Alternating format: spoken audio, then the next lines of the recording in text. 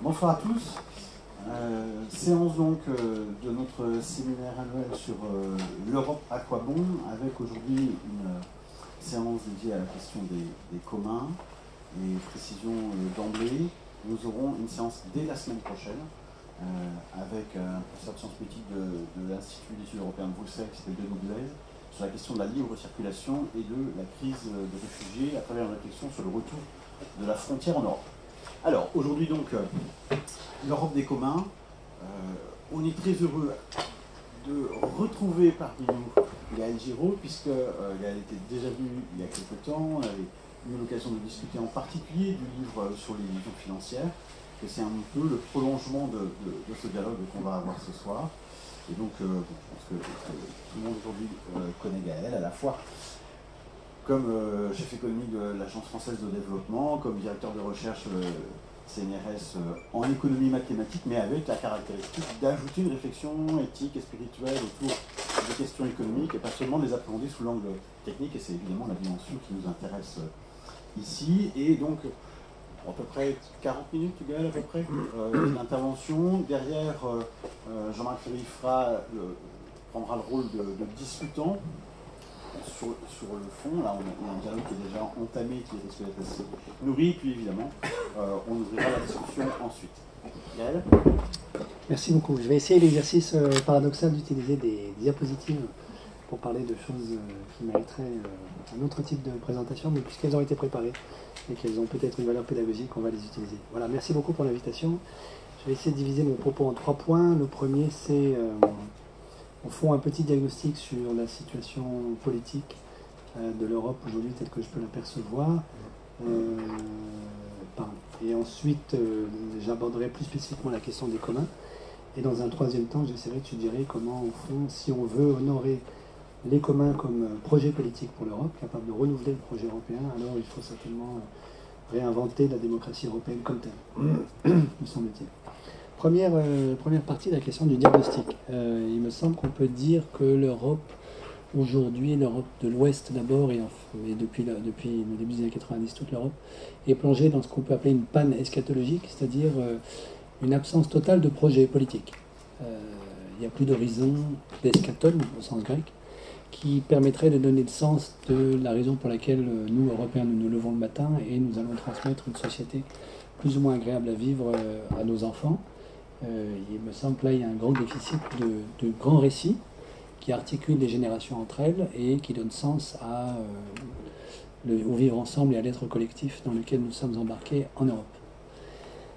Et, d'une certaine manière, ceci est concomitant avec euh, le début de l'expérimentation, je crois qu'on pourrait dire, que certains appellent néolibéral, à partir des années, fin des années 70, début des années 80, que pour ma part j'appellerais plutôt post-libéral, au sens où je crois qu'elle est une trahison profonde du libéralisme du XVIIIe ou XIXe siècle, qu'elle prétend s'inspirer des, grands fondateurs libéraux de ces siècles passés, alors qu'en fait elle les trahit euh, assez radicalement. Et en ce sens-là, je crois ce projet politique euh, sous-jacent à la financiarisation de la société européenne à partir des années 80 euh, est vraiment post-libéral. Il rompt avec euh, les idéaux du libéralisme.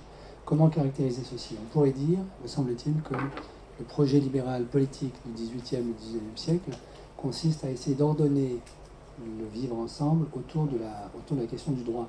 Et on a ici un juriste euh, qui peut-être d'ailleurs pourra contester cette thèse.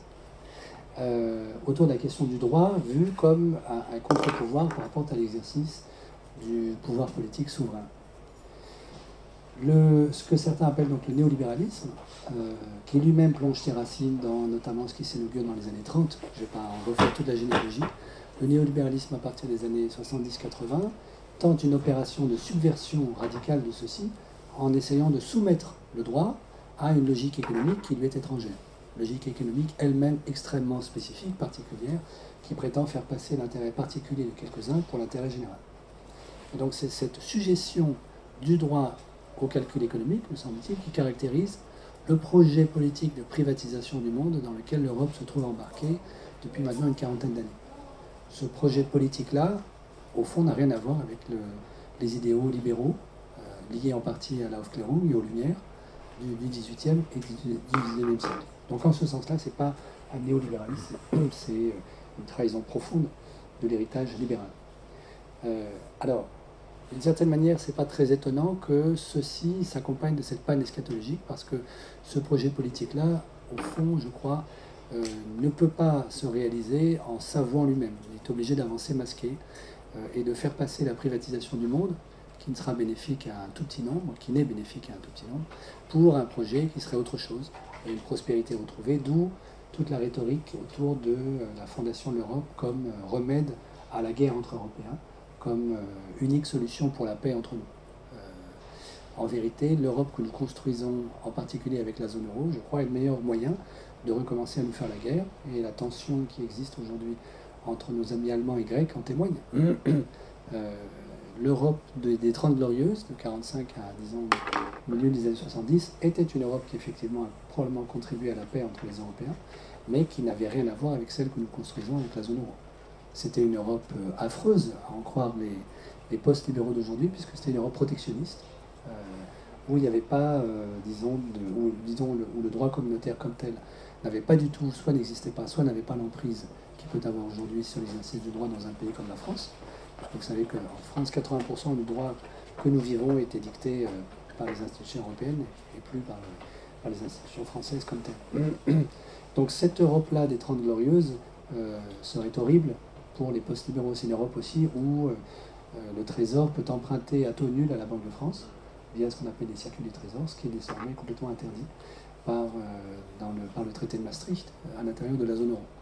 Et donc vous voyez que non seulement cette zone euro-là et ce projet politique-là sont en contradiction avec ce qui s'est inauguré après la Seconde Guerre mondiale, mais, me semble-t-il en tout cas, est également en contradiction avec l'héritage que nous portons aujourd'hui, des Lumières et en particulier des projets, du projet libéral qui a caractérisé en partie au moins ces Lumières. Deuxième point, euh, un certain nombre des acteurs qui ont contribué à la construction de cette Europe-là, de cette zone euro en tout cas, euh, qui sont vivants aujourd'hui encore, euh, la plupart d'entre eux à la retraite, essayent de justifier cette ruse, disons, politique par une autre ruse qui serait euh, nous avons tenté de construire une Europe euh, du marché, de la monnaie unique, tout en sachant très bien qu'il lui manquait un pilier politique. Mais euh, le sachant, nous pensions, et nous pensons toujours pour certains d'entre eux, que on apprend à marcher en tombant, et que donc c'est en construisant une Europe bancale que nous arriverions à convaincre et à forcer au fond nos voisins allemands à consentir à la construction d'un pilier politique européen. C'est un discours que vous entendez encore beaucoup aujourd'hui euh, du côté des, anciens hauts fonctionnaires qui ont travaillé, euh, allez-y, allez-y, avec Jacques Delors, à l'époque où Jacques Delors était le président de la Commission européenne. Hein, donc c'est la, c'est la théorie de la ruse. Euh, nous savions bien que cette Europe-là ne marchera pas, et c'est précisément parce qu'elle ne marchera pas que nous espérions, et nous espérons encore pour certains d'entre nous, qu'elle finira par marcher, parce que ça nous obligera à nous entendre. Et évidemment, il est tout à fait possible qu'on aboutisse au résultat exactement contraire, c'est-à-dire que ça ne marche pas. Le fait que ça ne marche pas aujourd'hui euh, renforce euh, une défiance profonde à l'égard du projet européen, puisque dans le même temps, cette Europe bancale, euh, prétendument construite dans une espèce de ruse pseudo-hégélienne, cette Europe bancale alimente un refus du projet européen comme tel, dans la mesure où elle est présentée comme l'unique manière d'honorer ce projet ça ne nous aura évidemment pas échappé. Aujourd'hui, l'une des grandes difficultés que nous rencontrons, je crois, dans le débat politique, euh, en France, mais dans toute l'Europe occidentale, c'est de faire entendre qu'il est possible d'être pro-européen, en tout cas favorable à un projet politique européen, qui unirait l'ensemble des, citoyens européens, sans être favorable à cette Europe-là. Et, alors que celle-ci est présentée par ces turiféraires comme l'unique manière d'honorer le projet politique européen. Parce qu'elle est présentée comme l'unique manière d'honorer ce projet, parce que cette manière d'honorer ce projet ne fonctionne pas. Alors on pourrait rentrer aussi dans le détail du diagnostic économique si vous voulez, hein. on le fera peut-être au moment des questions, je rentre pas dans ce détail maintenant. Parce que ça ne marche pas, alors évidemment un grand nombre de citoyens européens disent bon mais ça veut dire que le projet européen comme tel euh, n'est pas, pas, fécond, pas intéressant. D'où dans les sondages une, une défiance très forte, grandissante de la part de la totalité des citoyens européens dans tous les pays à l'égard du projet européen comme tel. Et donc derrière ça, je crois qu'il y a une confusion mortelle entre le projet européen politique tel qu'il s'inaugure pendant la Seconde Guerre mondiale en fait et, après elle, sa déclinaison spécifique à partir des années 80 à travers un projet de privatisation du monde inavoué et euh, sa justification ex post, plus ou moins de bonne foi, par les hauts fonctionnaires qui ont contribué à cette euh, perversion sous le mode de la ruse égénie. Ce faisant, euh, ce que ces hauts fonctionnaires n'aperçoivent toujours pas aujourd'hui, c'est qu'ils ont contribué à la construction d'une zone euro qui est essentiellement favorable à une toute petite élite de la population et au secteur financier. Les seuls bénéficiaires de la construction de la zone euro, ce ne sont même pas nos amis allemands, parce que ce n'est pas vrai que l'économie allemande a vraiment tiré des bénéfices colossaux de l'euro. Euh, elle s'est elle-même construite dans une situation qui est intenable socialement, puisque vous savez que l'explosion des, petits travailleurs précaires et des travailleurs pauvres en Allemagne aujourd'hui devient un vrai problème social. Donc ça n'est pas vrai non plus que l'Allemagne comme telle serait la grande gagnante euh, de la construction de la zone euro. Les seuls vrais gagnants, ce sont les banquiers et le secteur financier. Troisièmement, donc la défiance démocratique dont j'ai parlé euh, à l'instant, et je voudrais l'étendre un tout petit peu euh, à l'ensemble de ce qu'on pourrait appeler l'âge du ressentiment dans lequel il me semble une bonne partie de la population humaine mondiale se trouve plongée aujourd'hui. Et en disant ça, je fais allusion à une thèse défendue par un, intellectuel indien, Pankaj Mishra, qui est un éditorialiste du New York Times, qui vient d'écrire un livre que je trouve absolument euh, très intéressant, qui n'est pas encore traduit en français, autant que je sache, qui s'appelle The Age of Anger. On pourrait traduire par l'âge du ressentiment, l'âge de la colère. La thèse de Mishra, c'est qu'il euh, y a une unité profonde entre la colère de l'électeur blanc américain pauvre qui vote Trump, la colère de l'ouvrier anglais pauvre qui vote pour le Brexit, la colère du français déclassé qui vote Front National, celle des Allemands travailleurs pauvres qui votent Alternative für Deutschland, l'autre AFD, euh, laquelle est entrée au Parlement allemand, comme vous le savez, euh, les Hongrois ou les Polonais qui se satisfont complètement de la sortie de route antidémocratique, violente, extrêmement dangereuse dans laquelle leurs pays sont engagés, les mouvements fondamentalistes euh, djihadistes qu'on trouve au Sahel ou euh, au Moyen-Orient, et également, pourquoi pas, le fondamentalisme hindou que Modi attise de manière extrêmement euh, perverse, à tel point que les amis indiens que je connais envisagent la possibilité d'une guerre civile en Inde si Modi devait réussir à être réélu aux prochaines élections indiennes. Alors la thèse de Mishra, c'est que tout ceci euh, n'est pas la juxtaposition de, euh, de colère locale qui ne serait pas liée entre elles, mais provient d'un ressentiment global euh, qu'il articule de la manière suivante. Sa thèse, c'est depuis 40 ans la globalisation marchande dans laquelle nous sommes engagés a disséminé aux quatre coins de la planète une certaine représentation du monde qui vient évidemment du monde occidental, dans laquelle, qui est hantée elle-même par la promesse des Lumières, l'idéal des Lumières, sur lequel je reviendrai, et elle s'est faite en trahissant elle-même cet idéal dans le même temps où elle était en train de le répondre. Alors comment se fait cette trahison? Mais À travers l'explosion des inégalités, évidemment, aujourd'hui c'est bien documenté, à travers la destruction de la planète, à travers des conflits euh, généralisés, au point que certains parlent aujourd'hui d'une troisième guerre mondiale par morceaux sur la totalité de la planète, à travers la destruction du lien social et la destruction donc, des écosystèmes naturels. Et donc la thèse de, de, Mishra, c'est euh, cette globalisation marchande a répandu sur l'ensemble du monde un idéal politique euh, tout à fait honorable qu'elle a dans le même temps trahi, provoquant un ressentiment généralisé. Et euh, illustre euh, ceci en disant, au fond, au XIXe siècle, il y a eu tout autant d'attentats qu'on aurait à l'époque qualifiés de terroristes, on n'avait pas ce vocabulaire à l'époque, qu'aujourd'hui, simplement, c'était confiné au pourtour européen et méditerranéen, parce qu'à l'époque, la globalisation européenne était restée très très localisée. Euh, aujourd'hui, elle est effectivement planétaire, et du coup, le ressentiment est lui-même planétaire. Voilà.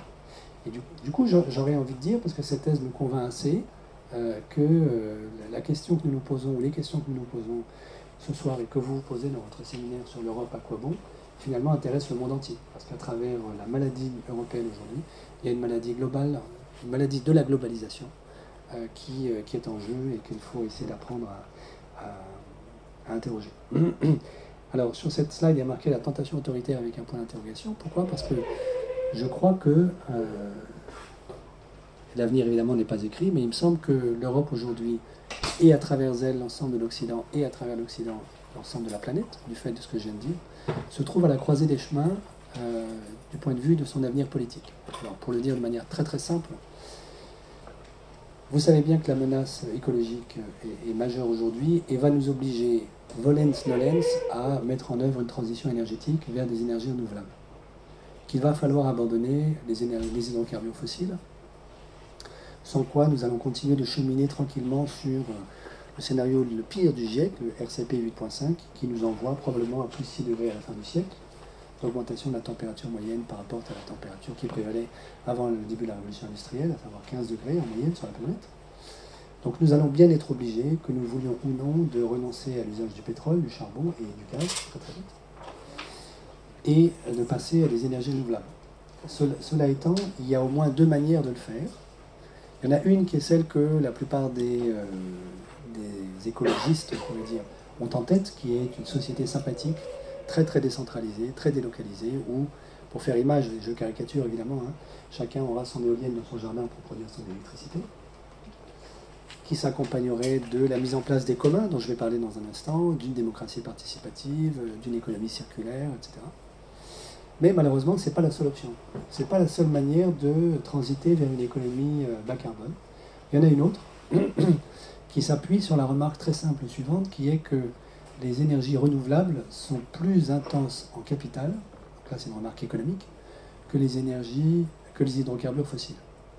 Alors un chiffre qui illustre ça, c'est si vous regardez la part de ce qu'on appelle le CAPEX, donc le coût en capital, en investissement initial, pour produire 1 kWh avec des énergies renouvelables, qu'il s'agisse de l'éolienne ou du solaire, peu importe, ou de la biomasse, versus la part du CAPEX dans les hydrocarbures fossiles, charbon, pétrole, gaz. Dans le premier cas, dans les hydrocarbures fossiles, c'est compris entre 10 et 15% du coût de production du kilowattheure. Donc, dans le coût de production du kilowattheure, vous avez entre 10 et 15% qui provient de l'investissement initial en capital. Dans le cas des énergies renouvelables, c'est 50% C'est beaucoup plus.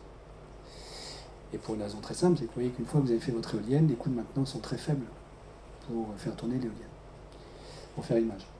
Donc ça veut dire qu'une économie entièrement basée sur les énergies renouvelables peut être aussi vue comme une, une, économie très intense en capital, une économie hautement capitalistique, dans laquelle ceux et celles qui sont capables d'apporter le capital sur la table pour financer les énergies renouvelables ont un pouvoir politique de négociation dans le contrat social qui est phénoménal. Pour faire image, euh, si vous voulez qu'un jour ce soit des éoliennes et des cadrans solaires qui alimentent en électricité une ville comme Paris, il va falloir des forêts d'éoliennes, hein, des, kilomètres carrés de panneaux solaires. Qui est capable aujourd'hui de mettre l'argent sur la table pour financer ça Celui qui peut le faire aura évidemment un pouvoir de négociation sur l'usage qu'on fera de l'énergie et sur la manière dont il sera rétribué et dont il pourra extraire la rente de ceci, qui sera phénoménal. Vous voyez? Et donc ceci s'inscrit dans une réflexion, je crois, très intéressante, dont l'un des, ténors aujourd'hui est un Américain, un historien américain qui s'appelle Timothy Mitchell, hein, dont l'ouvrage euh, un peu phare s'appelle Carbon Democracy. La thèse de Mitchell, c'est euh, ce qui s'est passé, pour la résumer très rapidement, ce qui s'est passé entre 1945 et, le début des années 70, qui, comme vous le savez, est une période de prospérité inouïe pour l'Europe et les États-Unis, et un peu plus tard pour le Japon dans un cadre démocratique qu'aujourd'hui je, regrette, dont je suis nostalgique, hein, si vous voyez la vitalité du débat démocratique en Europe de l'Ouest entre 45 et 70, c'est incomparable par rapport à la pauvreté, au dénuement du débat démocratique que nous avons aujourd'hui. Allez regarder, puisqu'on regarde, on voit ça en ce moment, les émissions de télé euh, à la fin des années 60. Quand je vois ça aujourd'hui, je tombe par terre par rapport à l'indigence, pour être poli, de ce qu'on voit sur le petit écran aujourd'hui euh, en France. C'est très impressionnant. La thèse de Mitchell, c'est au fond tout le 19e siècle, c'est la révolution industrielle, la première jusqu'au moins, disons, 1880-90, c'est construite sur le charbon, comme vous le savez. Or, le charbon est, une énergie qui donne un pouvoir de négociation très important à ceux qui descendent au fond de la mine, aux mineurs. Pourquoi?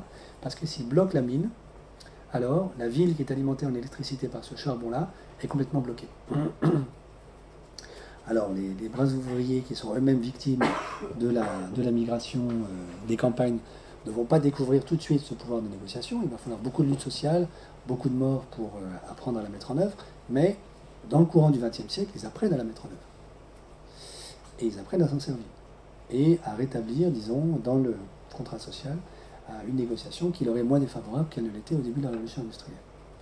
Avec le pétrole, la situation change complètement parce que si vous bloquez euh, une raffinerie de pétrole, ça n'empêche pas du tout une ville de s'alimenter au pétrole ailleurs du fait de la facilité que nous avons aujourd'hui à transporter du pétrole.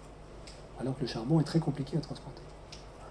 C'est très difficile de transporter du charbon en bateau, c'est très facile de transporter du pétrole en, bateau.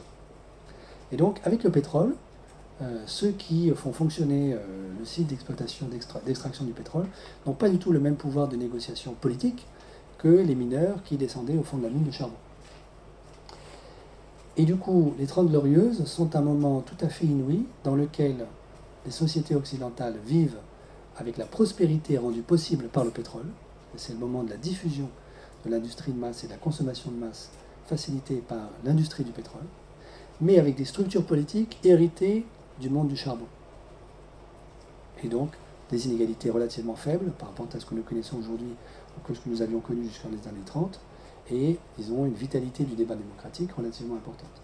À partir des années 70, la situation commence à s'inverser, c'est-à-dire que la généralisation des usages du pétrole euh, finit par se faire sentir, et dans le rapport de force, on pourrait dire de manière très très caricaturale, entre le capital et le salariat, euh, le rapport de force s'inverse de nouveau en faveur de ceux qui sont détenteurs du capital. Parce que le pétrole ne permet pas du tout de gérer le conflit social de la même manière que le charbon. Et donc la remise au goût du jour du programme de, privatisation de la société qui s'était inventé dans les années 30, notamment autour du Mont Pèlerin, à partir des années 70-80, c'est la traduction de la reprise du pouvoir, si je peux dire, par ceux qui sont détenteurs du capital, à la faveur d'une société entièrement dépendante du pétrole, euh, dans un monde qui a définitivement basculé du charbon vers le pétrole. Question, dans un monde qui basculera nécessairement tout ou tard, soit comme disent les Anglais by design parce que nous sommes intelligents, soit by disaster parce que nous allons vers un désastre écologique, dans un monde qui va basculer vers les énergies renouvelables, dans quelle mesure ce, cette négociation du conflit social va se négocier autrement, quelle va être l'issue nouvelle, la configuration sociale, politique nouvelle qui va se mettre en place. Ce que j'essaie de suggérer, c'est que nous n'en savons rien et qu'il y a au moins deux grandes options possibles.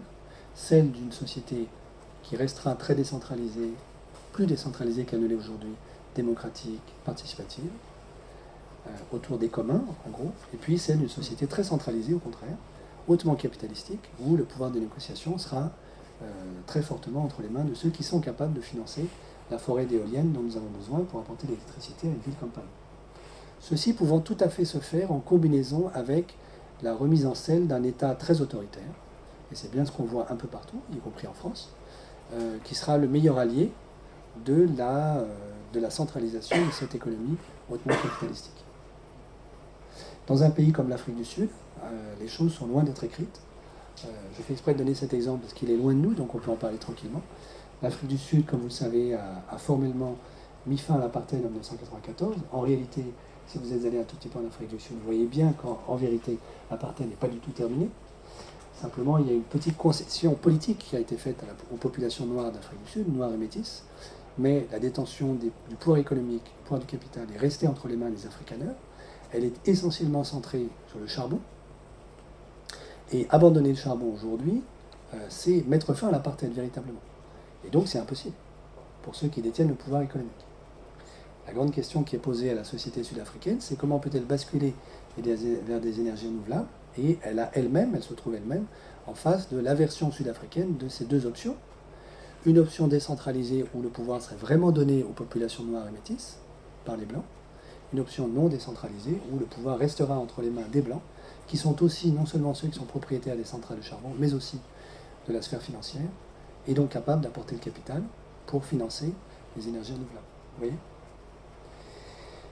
D'où la question, la tentation autoritaire, qui pourrait bien être malheureusement la réponse que nous arriverions, le compromis social terrifiant auquel mènera euh, la fiction d'une Europe bancale qui, grâce à une ruse hegelienne, apporterait la prospérité et la paix aux Européens.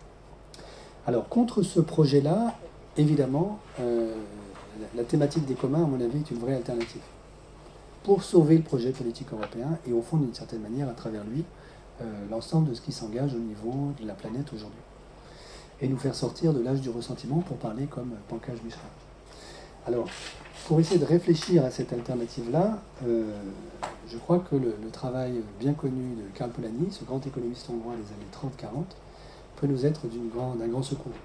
Finalement, Polanyi a fait un diagnostic très voisin dans les années 30, qui est la, première mondialisation européenne de la fin du, du 19e siècle, qui anticipait sur un périmètre beaucoup plus restreint ce qui s'invente dans le monde entier aujourd'hui depuis les années 80, a déjà tenté à l'époque de mettre en œuvre cette utopie d'une privatisation du monde en essayant de privatiser les trois grandes catégories de biens qu'identifie Polanyi, qui sont la terre, et donc avec elle toutes les ressources naturelles, le travail et la monnaie.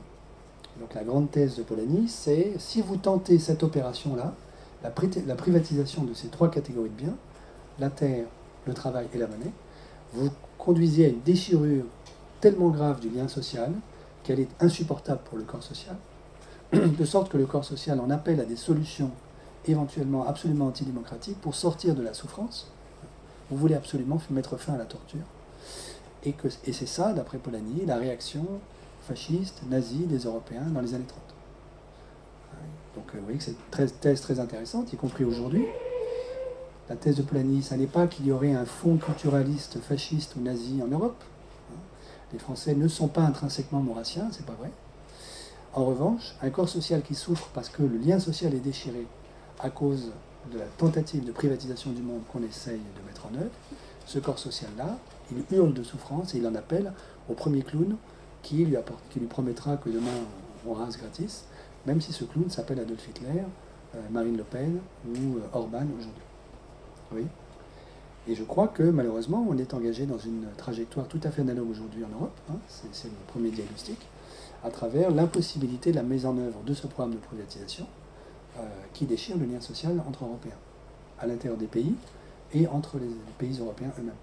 Pourquoi? Parce que ce, que nous, ce que fait le projet européen aujourd'hui, c'est exactement ça, la privatisation des ressources naturelles, la privatisation de la monnaie. Vous avez bien vu que nous avons retiré des mains des États européens le droit de frapper monnaie pour le confier uniquement à la Banque Centrale Européenne, réputée indépendante de tout pouvoir politique, et donc en fait entièrement assujettie au pouvoir des banques privées. Et puis, petit détail technique, je pourrais revenir dessus si vous voulez tout à l'heure, le, ratio de réserve obligatoire, c'est-à-dire celui qui mesure combien de monnaie banque centrale une banque privée doit détenir sur son bilan à chaque fois qu'elle crée de la monnaie pour accorder un crédit, ce ratio est, est tombé à 1% en zone euro. Ce qui veut dire que le lien qui tient les banques privées et la Banque Centrale Européenne est quasi nul, quasi inexistant. Très très faible. Quand en plus les taux d'intérêt de la Banque Centrale Européenne sont nuls ou négatifs, comme c'est le cas aujourd'hui, euh, ça veut dire que la Banque Centrale Européenne n'a plus aucun pouvoir sur les banques privées, qui créent la monnaie comme elles veulent. Ou plutôt qu'ils n'en créent pas si elles estiment qu'il ne faut pas en créer, ce qui est le cas aujourd'hui, puisque une bonne partie du risque déflationniste dans lequel nous sommes toujours, de mon point de vue, provient de l'insuffisance du crédit bancaire.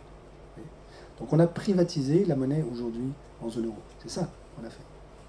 Et puis troisièmement, la privatisation du travail. Vous voyez bien que euh, c'est un processus qui est en cours, mis en œuvre également par l'actuel gouvernement en France, qui est de détruire petit à petit toutes les barrières que le droit du travail avait mises en place pour empêcher la mise en œuvre de cette utopie folle qui serait qui consiste à essayer de traiter le travail comme une marchandise privée qu'on peut échanger.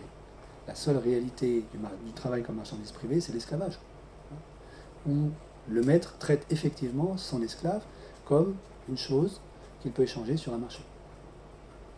Et si vous connaissez un peu les, thèses de David Graeber, grand anthropologue américain qui vit à Londres, euh, il y a là-dedans, derrière cette utopie mortifère de l'esclavage, comme visée non dite de l'assimilation du travail à une marchandise privée, derrière ça, il y a aussi toute la question de la propriété privée qui est en jeu. La thèse de Greber étant que lorsque les juristes romains inventent le droit de propriété privée, hein, c'est une invention du droit romain cette affaire, avec les trois piliers que vous connaissez, usus, fructus, abusus, ils ne font que transférer dans la relation homme-chose le propriétaire d'un bien, propriétaire exclusif à l'exclusion de toute autre personne, dans une anthropologie qui du coup ne peut plus être relationnelle, puisque je suis tout seul à l'exclusion de tout autre le propriétaire de ce stylo, admettons. Ils ne font que transposer dans la relation homme-chose la relation exclusive maître-esclave. Alors la thèse de Greber est contestée par un certain nombre d'anthropologues, Ce qui est contesté, c'est euh, la, vérité documentaire du fait qu'on aurait des attestations d'un droit de l'esclavage qui serait antérieur au droit privé, au droit de la propriété privée, homme-chose. Mais à la limite, peu importe, euh, ce qui m'intéresse moi, c'est le lien très profond qui existe entre les deux. Ça va? Alors, euh, voilà pour, pour ceci. Donc, face à cette, cette utopie-là de la privatisation absolument, la question des communs, à mon avis, est une vraie alternative. Pourquoi? Parce qu'elle propose une autre manière de nous rapporter au monde, à la fois aux choses et euh, aux personnes avec lesquelles nous vivons, entre humains, entre non-humains et entre les humains et les choses. Alors pour redire les choses très très rapidement, euh, les communs sont redevenus un thème à la mode aujourd'hui, notamment à travers le prix Nobel qui a été accordé à Elinor Ostrom, politologue américaine, prix Nobel d'économie, accordé à une politologue américaine, Elinor Ostrom, en 2009. Elle-même est décédée en 2012. Très vite, et pour dire les choses de manière euh, un peu lapidaire, on reviendra dessus si vous souhaitez, euh, les économistes ont l'habitude de représenter le monde en noir et blanc entre bien public et bien privé. Un bien privé, c'est un bien dont la consommation est réputée rivale et dont l'accès peut être régulé. Donc si je, si je bois l'eau qui est dans ce verre, Jean-Marc ne peut pas boire de cette eau-là. Donc la consommation de l'eau est rivale. Et puis, euh, il se peut que Jean-Marc, pour m'autoriser à boire de l'eau dans ce verre, me demande de payer un prix, le prix d'achat de l'eau. Donc l'accès à l'eau peut être régulé. Par opposition à ceci, ce bien privé, euh, l'ensoleillement qui me permet par exemple d'aller bronzer sur les berges de la Loire. Euh, si je vais bronzer sur les berges de la Loire, ça n'empêchera pas Jean-Marc d'aller bronzer également. Donc la consommation n'est pas rivale. Et vous voyez bien qu'il est très difficile de mettre un policier tous les 10 mètres pour vous faire payer une taxe si vous allez bronzer au soleil. Donc l'accès est difficilement régulable, au sens marchand. Et donc ça, c'est un bien public. C'est réputé un bien commun tel, en tout cas, par la plupart des économistes dits néoclassiques, à, l'issue du travail de Samuelson dans les années 50. Ce que dit Elinor Ostrom, c'est cette vision du monde noir et blanc entre bien public et bien privé est extrêmement fruste. En réalité, il existe toute une, grande, un grand nombre de biens qui ne sont ni privés ni publics, notamment les biens communs. Alors, si vous y réfléchissez 15 secondes, vous voyez que c'est une pure évidence, une trivialité. Pensez par exemple à une piscine. La piscine est-elle un bien privé ou un bien public? Alors, si vous, êtes habitué à aller nager à la piscine euh, à midi, par exemple, vous voyez bien qu'il faut slalomer entre les nageurs et que donc la question de la congestion des embouteillages dans la piscine fait que ce n'est pas un bien purement public au sens où la consommation ne serait pas rivale. Si je continue de raisonner dans les catégories néoclassiques. Puisque le fait que j'aille nager importe à ceux qui vont également nager, euh, je les empêche éventuellement de nager euh, tranquillement. Donc la consommation n'est pas rivale. Ensuite, on peut très bien imaginer une piscine municipale dont l'accès soit gratuit, soit gratuit, ou une piscine privée dont l'accès soit payant. Donc elle n'est pas intrinsèquement facile ou non à réguler. Donc ceci pointe vers le fait qu'il faut, à mon avis, très très vite renoncer à l'essentialisme, au naturalisme spontané des économistes non classiques, et prendre conscience du fait qu'aucune ressource, aucun bien, aucun service n'est intrinsèquement ni privé ni public, mais que c'est un acte politique de la communauté politique de décider ce bien-là sera traité comme un bien privé ou comme un bien public. L'exemple paradigmatique, à mon avis, c'est l'éducation. Et là-dessus, les jésuites euh, sont bien placés pour le dire. L'éducation en Europe a été considérée comme un bien privé jusqu'au XVIIIe siècle. À partir du XVIIIe, XIXe, à la faveur de la construction de l'État, notamment l'État républicain, elle est considérée petit à petit comme un bien public, dont la gestion relève de, l'État. Il n'est pas impossible qu'à la faveur du nouveau projet de privatisation du monde dans lequel on est engagé depuis 40 ans, ah oui, je suis trop long, euh, nous, soyons en train, en vérité, de privatiser l'éducation, d'en refaire de nouveau un bien privé. Peut-être que ceci a un lien, je ne sais pas, avec les débats qui nous occupent aujourd'hui dans l'université française. Alors, je vais beaucoup trop lentement, donc il faut que j'avance. Vous voyez que donc, les communs, c'est un, mode de gouvernance, c'est-à-dire que c'est une ressource autour de laquelle une certaine communauté décide de se réunir pour gérer cette ressource et se donne des droits d'accès à la ressource dont elle décide elle-même, euh, droits éventuellement différenciés. Euh, ça concerne virtuellement tous les biens sociaux qui peuplent notre imaginaire social, euh, aussi bien le foncier, l'eau que les ressources naturelles, que le numérique. Alors vous pensez évidemment à tous les, tous les logiciels libres, le copyleft qui s'invente, les Creative Commons sur Internet, etc. et derrière ceci, il y a une remise en cause donc, de, la, de la partition du monde entre bien public et bien privé, mais également de la propriété privée comme telle, puisque la, construction de la propriété privée classique en termes d'usus, fructus, abusus est remise en cause en faveur uniquement de l'usus. Il y a toute une série de communs qui s'inventent aujourd'hui, dans lesquels la seule manière de me rapporter au commun, c'est de certainement pas en être le propriétaire exclusif, mais l'usager, éventuellement temporaire, pendant le temps que j'appartiens à une certaine communauté qui gère cette ressource. Quel commun pour l'Europe? Alors, si vous reprenez les trois grandes catégories de Karl Polanyi, euh, vous voyez bien qu'on peut décliner un nouveau projet politique qui consiste à traiter un certain nombre de ressources naturelles comme des communs, et donc à inventer les institutions qui nous permettent de les gérer comme telles, qui ne sont ni la sphère marchande, ça c'est les biens privés, ni une gestion bureaucratique publique, ça c'est les biens publics, mais une gestion commune, j'hésite à dire communautaire parce que cet adjectif-là est piégé par le débat anglo-saxon sur le communautarisme versus le libéralisme, mais une, une, gestion par une communauté qui s'auto-institue elle-même à travers le fait qu'elle prend soin de la ressource. Les ressources naturelles, évidemment, la monnaie. Alors qu'est-ce que ça voudrait dire que de traiter la monnaie comme un, bien commun euh, en Europe? Certainement euh, mettre fin à sa privatisation, et donc assujettir de nouveau la Banque Centrale Européenne à une autorité politique européenne. Donc ça, ça suppose la construction d'un pilier politique européen que nous n'avons pas aujourd'hui ce qui renvoie aux réformes des institutions européennes sur lesquelles je vais arriver dans une minute, mais également, pourquoi pas, la création de monnaie locale. Hein, vous savez que c'est, il s'invente des monnaies locales tous les jours aujourd'hui en Europe. En Grèce, évidemment, puisqu'on a détruit la Grèce, et donc c'est une question de survie pour le lien social dans la société grecque, mais aussi à Nantes, je suis sûr qu'il y a une monnaie locale à Nantes. Euh, il y en a dans la Creuse profonde, il y en a en Corrèze, etc. Là-dessus, je dis juste un point. Alors, Massimo Amato n'est pas là parce que c'est le spécialiste nantais, d'ailleurs, euh, international de la, des monnaies locales. Euh, juste un point, pour que ceci puisse être durable et que ce ne soit pas simplement anecdotique, il faut absolument que le circuit global de la monnaie euh, puisse être parcouru par la monnaie locale que nous inventons, la monnaie complémentaire. Et ce circuit, ça passe par le paiement des salaires et le paiement des impôts. Hein, puisque l'origine de la monnaie, c'est euh, les grandes villes États mésopotamiennes qui, qui paient leurs soldats avec de la monnaie. Les soldats dépensent cette monnaie pas seulement au bordel, mais aussi pour aller manger cette monnaie circule dans la société civile et elle réintègre le bilan de l'État, de la, de la cité-État, à travers les impôts payés par les contribuables. Et elle a fait un tour complet. Et elle recommence son tour à travers les salaires des fonctionnaires payés par l'État.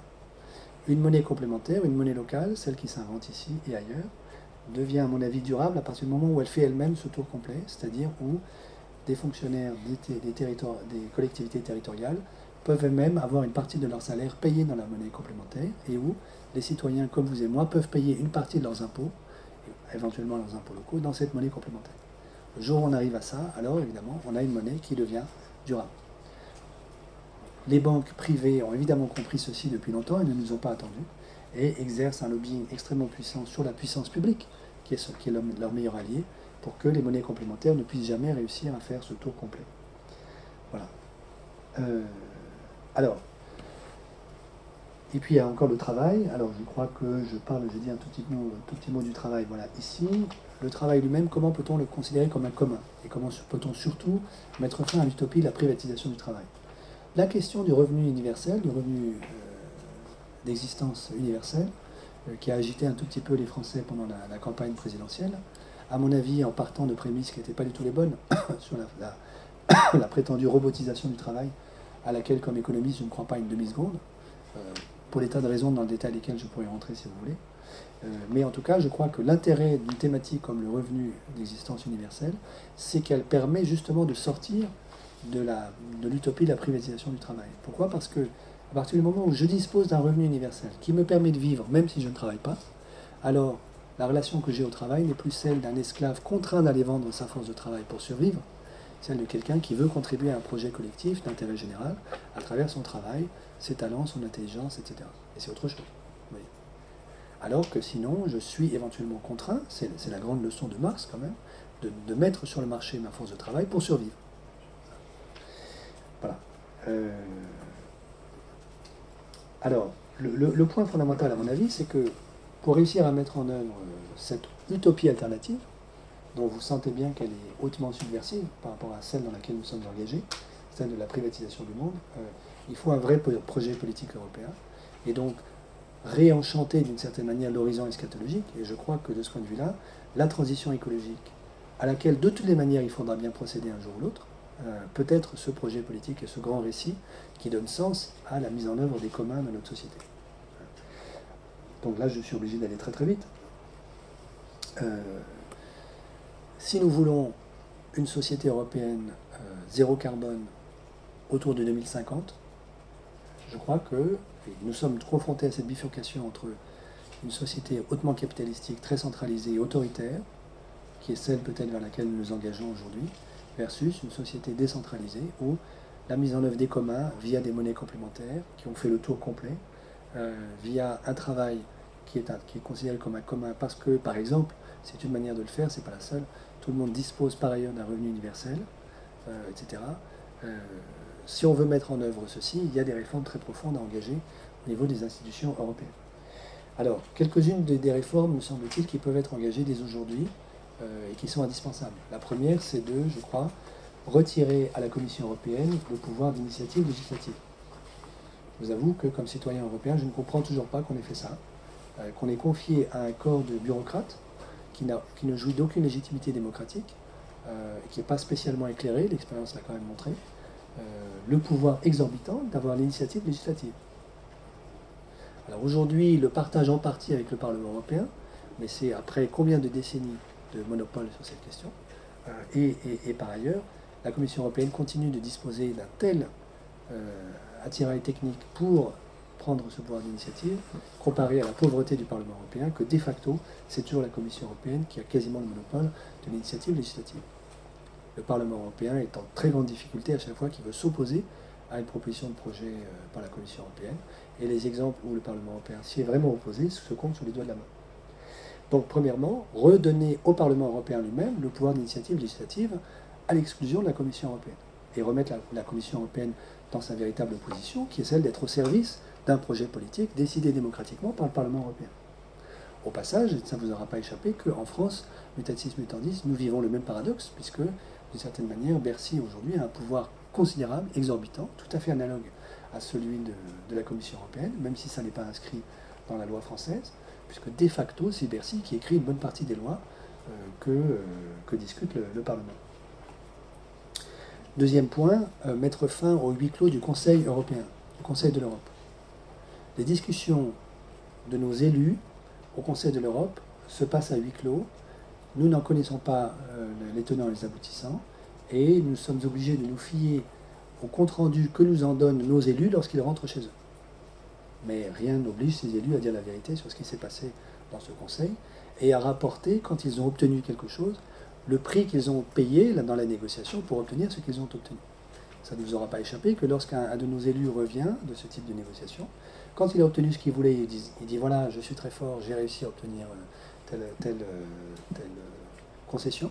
Et lorsqu'il a perdu, il dit, ah mais je suis désolé, c'était trop fort, les Allemands n'ont pas voulu.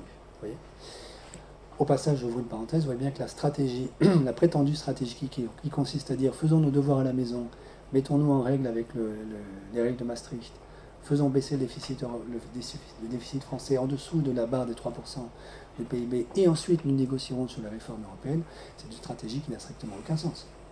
Puisqu'une fois que nous serons, compliant, comme on dit en anglais, avec euh, le traité de Maastricht et nous serons en dessous des 3%, ce qui va effectivement euh, arriver, eh bien la, réponse suivante, ce sera, mais maintenant vous allez faire moins de 2%, puisque les 3% eux-mêmes n'ont aucune signification économique, sont une pure convention arbitraire, et que la vérité du projet néoclassique, du projet d'économie néoclassique, c'est d'arriver à l'équilibre budgétaire, donc c'est 0%. Donc 3%, c'est une concession par rapport à zéro. Le jour où on sera durablement en dessous des 3%, eh bien, on pourra réformer le traité des traités européens de manière à dire ben maintenant la, nouvelle frontière c'est 2%.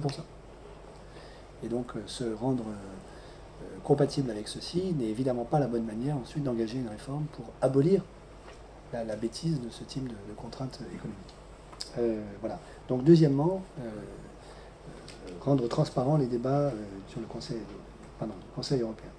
Et puis un tout petit mot sur donc, des propositions alternatives qui se discutent aujourd'hui. Vous connaissez certainement la proposition de traité alternatif de Yanis Varoufakis, l'ancien et bouillant ministre des Finances euh, grec, euh, à travers le projet Diem 25, et puis la proposition de euh, mise en œuvre, de mise en place d'un Parlement de la zone euro à l'intérieur du Parlement européen.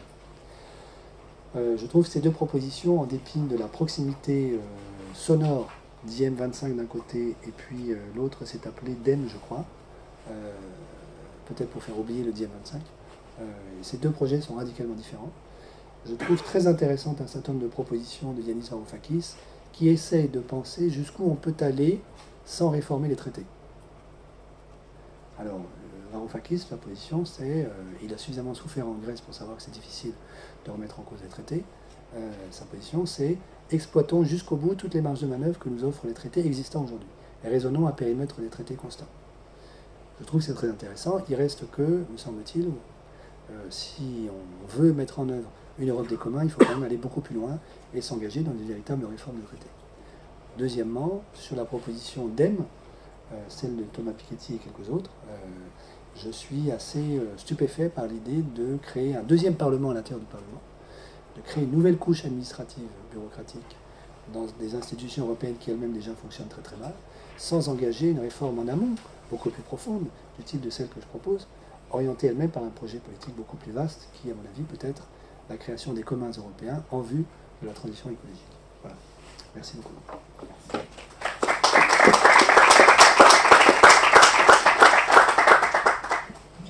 Merci beaucoup.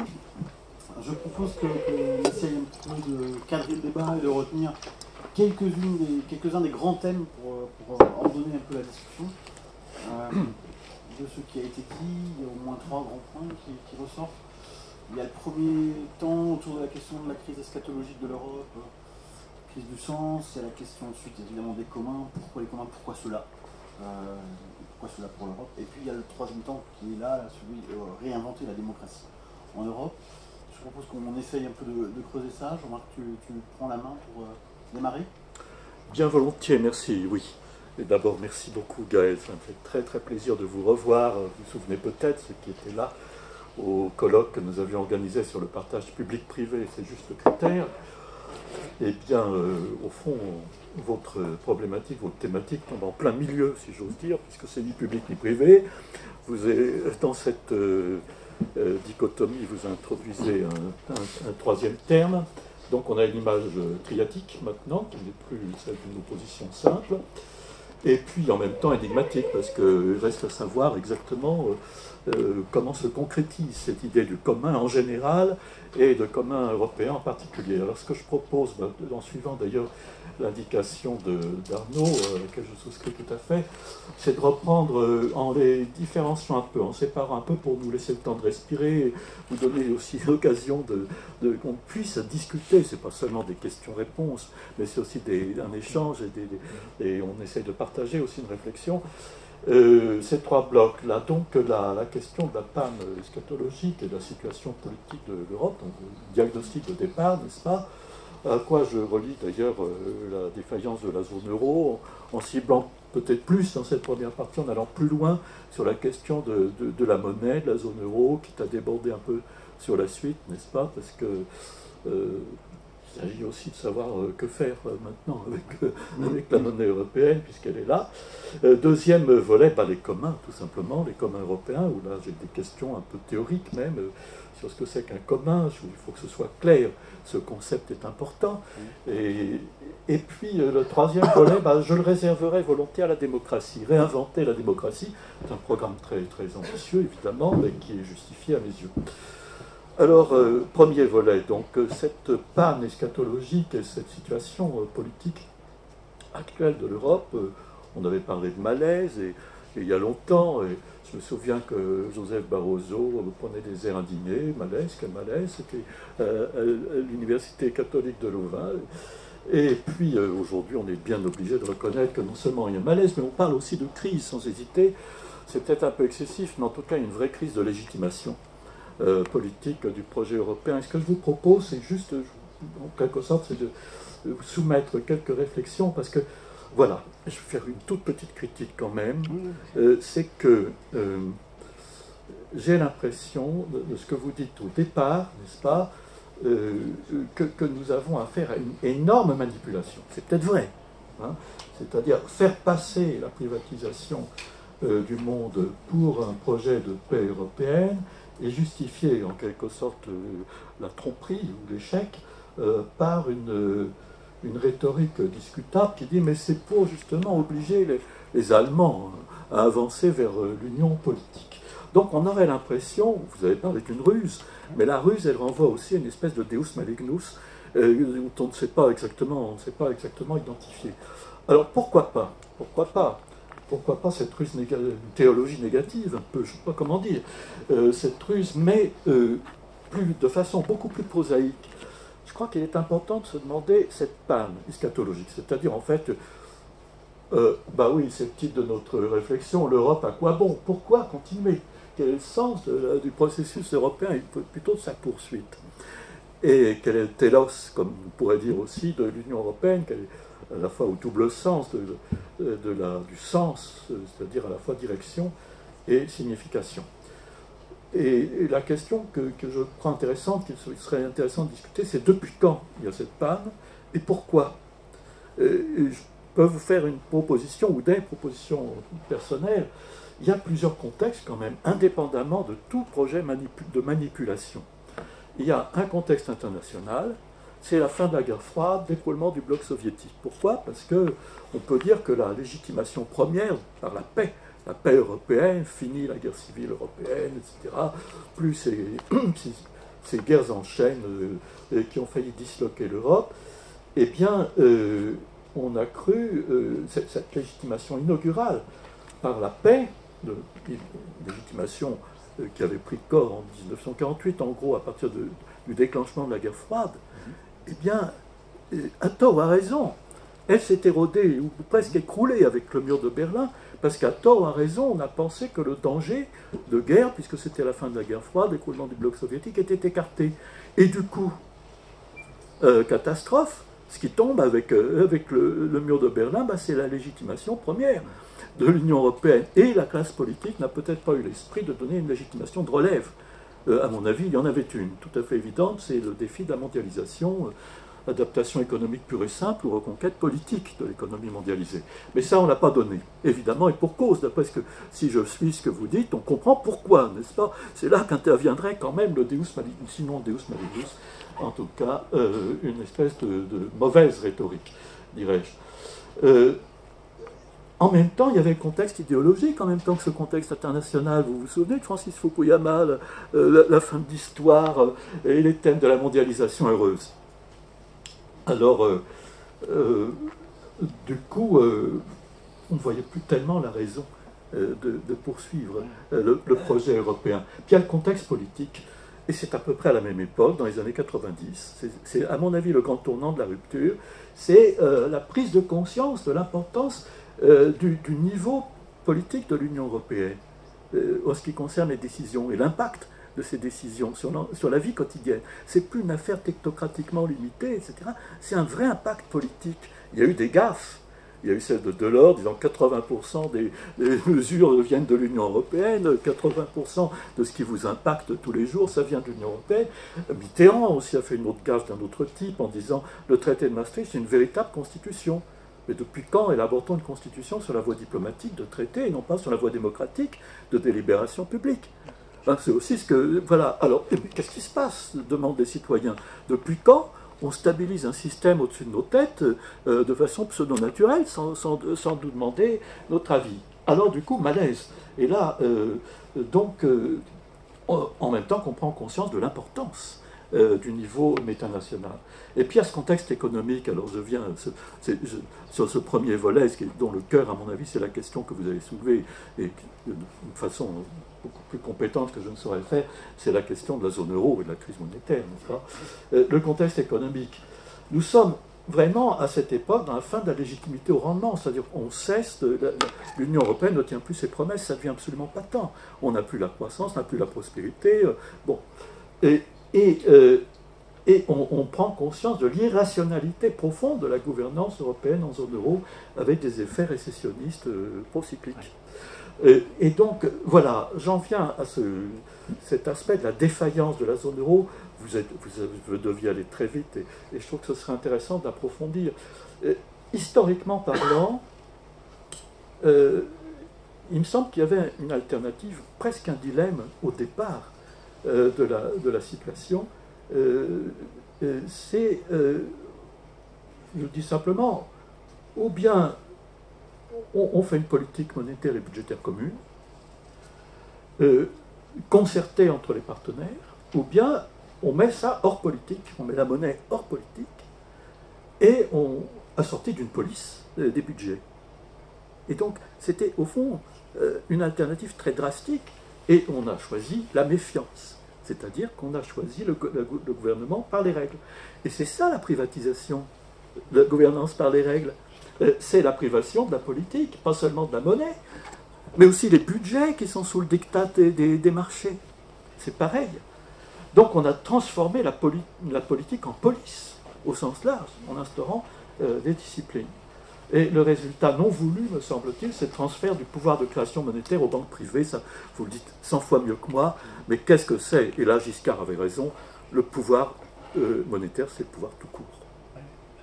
Le pouvoir de création monétaire, c'est le pouvoir absolu. Et il est passé aux banques. C'est véritablement ça. Il a été soustrait aux États, soustrait aux souverainetés nationales et, et remis aux banques. C'est ça quand même, je pense que là, c'est ça l'opération. Est-ce que c'est une opération rusée? Est-ce que c'est une opération diabolique? Est-ce que c'est une opération euh, plus que machiavélique, enfin, plus que ça encore? Alors, euh, ça, c'est le premier. Je m'arrête là, c'est notre premier volet de discussion, si vous voulez bien. Puis si j'arrive pas au troisième, tant pis. Euh, commencer à répondre, et après on va, ouvrir sur, ce point-là. Oui, merci beaucoup Jean-Marc. En fait, je suis, euh, je suis très très d'accord. Hein, C'est-à-dire, il me semble que dans un accident, il y a, il y a pris en cause. Un accident de voiture, il conduisait, il avait bu un coup de trop, il faisait nuit, la chaussée était glissante, il parlait à sa femme au téléphone et le, la courbure du tournant était un peu forte. donc, euh, l'effondrement du, mur de Berlin, évidemment, ça a privé le projet européen d'un de ces grands aliments qui était de garantir la paix entre Européens de l'Ouest. Je suis entièrement d'accord. Enfin, d'une manière générale, je suis complètement d'accord avec ce que tu, ce que tu soulignes. Hein. Je, alors évidemment, tu me poses des questions sur euh, est-ce qu'il y a vraiment un grand plan de manipulation et un Deus malignus Peut-être que la manière dont je l'ai dit très vite pourrait euh, donner, faire croire à une espèce de, théorie conspirationniste. Hein. c'est pas exactement ce que j'essaie de dire. Hein. Il y, a deux choses à mon avis. Il y en a une première qui est, j'entends le discours d'un certain nombre de hauts fonctionnaires européens qui me disent ça. Alors, je vais pas donner les noms parce que c'est pas, mmh. désobligeant, mais ils sont encore vivants aujourd'hui. Ils étaient tous au cabinet de Delors au moment où Delors était président de la Commission européenne, qui me disent voilà, on était au moment de la négociation avec les, les Allemands, nos amis allemands dans les années 90 c'est clair que nos amis allemands ne veulent pas d'unité politique. Donc on se dit on va faire une unité monétaire. Évidemment, ça ne marchera pas, mais ça va obliger les Allemands à accepter l'unité politique, l'unification politique. Donc c'est eux-mêmes qui tiennent un discours de la Russe, c'est pas moi qui, projette. Euh, alors, c'est un avatar de la théorie de l'engrenage, au fond. Oui, oui, tout à fait, absolument. Voilà. Alors après, il faudrait les interroger sur est-ce que c'est pas une reconstruction ex post que vous faites pour légitimer vos bêtises, ou bien est-ce que vraiment vous aviez ce plan-là, cette espèce de plan étrange dans la tête. Ensuite, qu'il y ait beaucoup de non-dits dans la construction européenne, y compris aujourd'hui, euh, sans que ce soit un complot, mais qu'il y ait beaucoup de non-dits, ça me semble assez évident. Je donne un exemple hein, qui est euh, quelque chose qui n'est jamais débattu dans la sphère publique, qui est l'existence d'un plan B de retrait de la zone euro par les pays du Nord, Allemagne, Pays-Bas, Autriche, Finlande, qui ont déjà organisé leur banque centrale de manière à quitter la zone euro et à construire une zone marque une zone euro du Nord, au cas où vraiment les, relations avec les pays du Sud, France comprise, seraient trop pénibles, et en, fait, de facto, au cas où l'Allemagne un jour devrait payer les dettes des pays du Sud, ce qu'elle ne veut pas faire. Euh, et la question qui m'a été posée par le gouverneur de la Banque centrale de Vienne, en Autriche, il y a maintenant trois ans, c'est si nous faisons ça, vous les Français, que faites-vous? Question qui a été posée également à la Banque de France à l'époque, en toute confidentialité. Euh, et la Banque de France de l'époque euh, a répondu évidemment, nous suivrons l'Allemagne, parce qu'il est hors de question pour nous Français de ne pas appartenir à la même zone monétaire que celle de l'Allemagne. Et donc, euh, dans cette négociation-là qui a lieu à l'insu totalement des citoyens européens, la France est prête à devenir la Grèce, une zone euro nord, où elle sera le dernier de la classe, parce qu'elle n'aura pas voulu quitter la zone monétaire de l'Allemagne. Donc, il y, a il, y a, un discours de la Russie qui est tenu par ceux qui ont fait la zone euro. Il y a quand même beaucoup de non-dits et de plans non débattus démocratiquement qui se mettent en place aujourd'hui, ça fait beaucoup. Alors je ne dis pas qu'il n'y a, pas un petit cercle de, conspirateurs qui ont construit tout ça avec euh, une intention maligne. Peut-être, pourquoi pas. Non, je ne suis même pas sûr. Mais voilà. Ensuite, ayant dit tout ceci, qu'il y ait une très profonde naïveté de la part de ceux qui ont construit la zone euro vis-à-vis de, la sphère financière, de leurs petits camarades qui souvent ont fait les mêmes études qu'eux, qui gagnent 5, 10, 50, 100 fois plus qu'eux dans les marchés financiers, par lesquels ceux-là sont fascinés, euh, qu'ils se soient fait complètement avoir par les conseils qui leur ont été prodigués aimablement par la sphère financière, qui leur expliquent comment construire une zone euro qui en fait est extrêmement bénéfique à la sphère financière, ça, ça me semble assez vrai aussi. je ne vais pas donner de nom ici, mais je pourrais les donner hors micro. Euh, et, donc, euh, et alors là, qu'il y ait une intention maligne, mais en tout cas très très intéressée à titre personnel, de la part de certains de ces financiers, qui profitent de ils ont de la collusion très forte entre la finance publique et la finance privée, et qui passent de tel ministère à la direction de telle banque, et puis qui retournent euh, au gouvernement, gouvernorat, la Banque centrale, etc. Je ne donnerai pas de nom, mais vous voyez certainement à qui je fais allusion. Euh, là, là, ça me paraît très évident aussi. Alors, là non plus, il n'y a pas de, conspiration euh, au sens fantasmagorique du terme, mais enfin, il y a une intention très très délibérée d'instrumentaliser un projet politique pour en faire quelque chose qui, est très bénéfique pour une toute petite élite, toute petite partie de la population. Un autre point euh, là-dedans qui me semble très intéressant, c'est le travail de Raoui Abdelal, un politologue euh, à Harvard, qui a écrit un livre qui n'est toujours pas traduit en français, qu'il faut absolument que je fasse traduire, qui s'appelle Capital Rules, les règles du capital. La question que se pose Abdelal, c'est euh, la, mondialisation, et ça rejoint quelque chose que tu as dit tout à l'heure, hein, quand tu disais qu'il y avait une idéologie, il n'y a pas une idéologie, une utopie de relève, que nous n'avons pas exploré, euh, cette utopie de relève, elle était inaccessible pour un certain nombre de personnes, y compris des Français, socialistes pour une partie d'entre eux, chrétiens et catholiques pour une autre partie d'entre eux, quelquefois les mêmes. Euh, et c'est ce que montre Abdelal. Abdelal dit, regardez, dans les années 90, qui est aux commandes de la mondialisation marchande? À l'OMC, vous avez Pascal Lamy, à la Commission européenne, Jacques Delors, au FMI, vous avez Michel Cordessus, puis un peu plus tard, Dominique Strauss-Kahn, puis un peu plus tard Christine Lagarde. Tous ces gens-là ont contribué à la mise en place d'une architecture mondiale de la mobilité du capital et d'une globalisation marchande privatisée, construite sur le capital privé. Alors, la différence entre eux et quelqu'un comme Trump aujourd'hui, c'est que ces gens-là croient au droit international, mais veulent soumettre le droit à la maximisation du capital pour les intérêts d'un tout petit nombre. À tel point d'ailleurs que Michel Camp-Dessus, à la fin des années 90, propose que le FMI puisse appliquer des sanctions automatiques, ça c'est le gouvernement par la règle, à tous les pays qui oseraient ne mettre en place des barrières protectionnistes, quelle que soit la nature de ces barrières. Et au moment où Camp propose ça, ce sont les États-Unis qui disent non, c'est hors de question, parce que nous voulons nous réserver le droit de pouvoir le faire et, devenir protectionnistes si nous le souhaitons. Et donc, d'une certaine manière, ces Français-là, Michel Camp-Dessus en tête, sont, sont plus royalistes que le roi, parce que cette utopie-là d'une globalisation marchande mondiale, planétaire, construite sur le droit, mais un droit entièrement assujetti à la logique du capital, n'a jamais été l'utopie de Wall Street ni de la Maison Blanche. La Maison Blanche, au fond, a toujours été plutôt partisane de ce que fait Trump aujourd'hui, c'est-à-dire la destruction assez systématique du droit onusien, du droit international, auquel il ne croit pas, d'ailleurs auquel lui, euh, ne comprend rien, euh, en faveur de euh, traités bilatéraux qui sont négociés dans un rapport de force éventuellement très violent, toujours à l'avantage euh, des intérêts particuliers des États-Unis.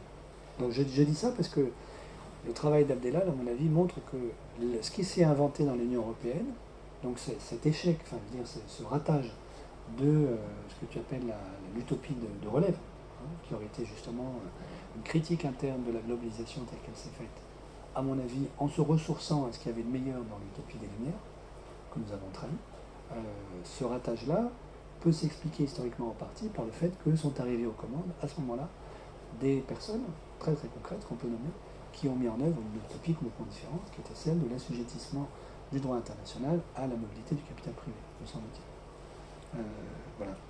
Alors, euh, ensuite, un, dernier point, je suis entièrement d'accord sur ce que tu dis sur on a donc le, gouvernement par les règles et la, la transformation du politique en une police. Alors, la question que je me pose, moi, c'est euh, Et d'une certaine manière, la construction européenne fait ça exactement. Que la Commission européenne aujourd'hui vit dans une espèce de fiction qui est on peut remplacer la souveraineté politique de celui qui décide, sans être immédiatement schmittien, mais quand même, la souveraineté politique, le celui qui prend des décisions, qui décide, éventuellement en dehors du droit, mais qui décide, par un, gouvernement automatique, par des règles. Euh, la question que je me pose, c'est d'où ça vient, ça L'ordolibéralisme. Oui, oui, alors l'ordolibéralisme, ça c'est la grande leçon, de, notamment de Foucault, hein, mais oui, je suis complètement d'accord. Et de von Eucken, enfin c'est lui le père. Oui, oui, tout à fait. mais mais l'ordolibéralisme lui-même aussi, d'où vient-il? Et, je, la, proposition que je fais, qui est un peu iconoclaste, euh, laquelle j'avoue que j'ai pas eu le temps vraiment de travailler, mais il faudrait que les historiens puissent se pencher là-dessus, c'est y a-t-il un lien souterrain, euh, collectivement inconscient, euh, entre cette folie-là et ce, qui, ce, que ce que la papauté a essayé de faire pendant des siècles au Moyen Âge, entre, en gros entre la réforme grégorienne et la Renaissance. Ce qu'essaye d'inventer la papauté à ce moment-là, c'est un droit canonique qui s'imposerait à tous les souverains européens, avec un pape qui serait au-dessus de ces lois-là, des lois particulières de ces souverains, qui serait capable de déposer les souverains comme bon lui chante, quand il estime qu'ils sont pas conformes à ce qu'il devrait faire en tant que euh, représentant de Dieu, euh, sans lui-même être euh, impliqué dans le, gouvernement des affaires. C'est avec les Italiens. C'est exactement ce que fait la Commission européenne avec les Italiens. On dépose Berlusconi, pour lequel je n'ai pas la moindre sympathie, mais qui avait quand même été élu démocratiquement. On empêche, on force euh, la restructuration du gouvernement Varoufakis et on empêche de faire ce pourquoi il a été démocratiquement élu. Rappelez-vous, hein, en juin 2015, Varoufakis gagne le référendum avec 61,5% des voix, victoire massive contre la mise en œuvre de l'austérité budgétaire.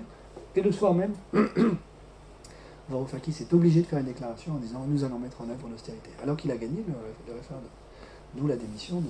Pas Varoufakis, pardon, Tsipras. Hein, D'où la démission de, de, Varoufakis. Alors, juste, j'ouvre une parenthèse, vous savez pourquoi ceci? Euh, je, vous le, je, vous le, dis, hein, euh, parce que la Banque Centrale Européenne avait stoppé l'alimentation en euros des banques grecques, une semaine avant le référendum. Donc là-dessus, juste une minute, parce que je crois que c'est très important c'est pas hautement spéculatif, mais je crois que c'est très important pour la réalité du rapport de force dans lequel nous sommes aujourd'hui en Europe. Hein. La Banque Centrale Européenne, au moment où le gouvernement de Tsipras prend le pouvoir en janvier 2015, a envoyé deux émissaires expliquer à Tsipras qu'il avait tout à fait intérêt à mettre en œuvre très scrupuleusement ce que demandaient les créanciers, donc la Commission européenne, la Banque Centrale Européenne et le FMI, sans quoi la Banque Centrale Européenne couperait l'alimentation en euros des banques grecques. Alors couper l'alimentation en euros, ça veut dire quoi? Ça veut dire qu'il n'y a plus d'euros, de billets au guichet des banques. Et donc, euh, vous touchez votre salaire, mais vous ne pouvez plus retirer d'argent euh, sur votre compte en banque. Et donc, c'est comme si vous n'étiez plus payé. Il n'y a plus de salaire. Euh, donc, la Banque Centrale Européenne a menacé de faire ça. Avec des arguties juridiques pour expliquer pourquoi, au nom de la stabilité financière, c'est bon de couper l'alimentation en euros des banques. Elle n'a pas le droit. Voilà. En principe, elle n'a pas le droit de le faire. Mais il y a des juristes tout à fait tordus qui vous expliqueront pourquoi, pourquoi en fait il était, c'était légal, à défaut d'être légitime, de le faire à ce moment-là. Tsipras ne croit pas à la menace. Varoufakis y croit, essaye de se lancer dans son plan B de construction d'une monnaie grecque alternative, mais n'a pas le temps de le faire, puisqu'il a six mois devant lui, en fait. Il n'aura eu que six mois devant lui. Et en juin 2015, à cause du référendum, la BCE met à exécution sa menace. Pendant une semaine, il n'y a plus de billets au guichet des banques grecques. Les Grecs, héroïquement, votent quand même contre l'austérité budgétaire. Mais Tsipras, qui sait très bien qu'il ne peut pas vivre sans monnaie, dit on va quand même se soumettre au dictat des, créanciers. Et la BCE, pour bien faire sentir la force euh, de la laisse, maintient la non-livraison d'euros pendant une semaine de plus. Donc la Grèce aura tenu 15 jours sans alimentation en billets. Comment l'Italie a-t-elle réussi à se débarrasser de Berlusconi? Exactement le même scénario. En fait, le président de la République italienne a exigé la démission de Berlusconi parce que la BCE le menaçait de ne plus alimenter les banques italiennes en euros. Celui qui raconte ça, c'est un ancien membre du board de la Banque centrale d'Italie, à Rome, dont le nom m'échappe mais qu'on peut retrouver facilement, puisqu'il a expliqué ça dans un livre qu'il a publié au moment où il a pris sa retraite, qui s'appelle Morire di austerita, mourir d'austérité. Si vous tapez ça sur Google, vous trouverez le l'auteur, j'ai plus son nom en tête. Donc il explique exactement ceci.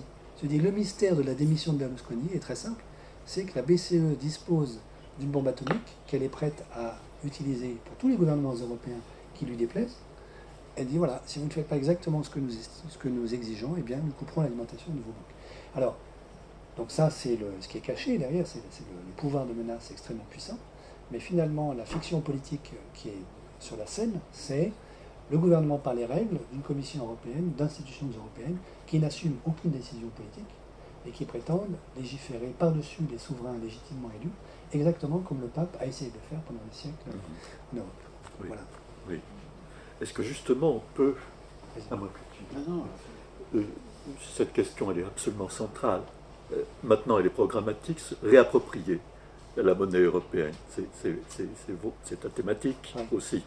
C'est quelque chose de tout à fait décisif. Dans ah, alors, et il y a des, propositions euh, plus ou moins fortes, plus ou moins faibles.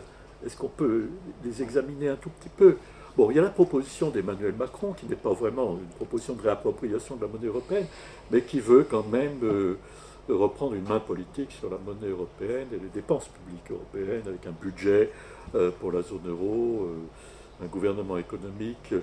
Est-ce que c'est différent du projet Mercosi d'avant? Je ne sais pas. Je, je me pose la question, ça semble un petit peu différent.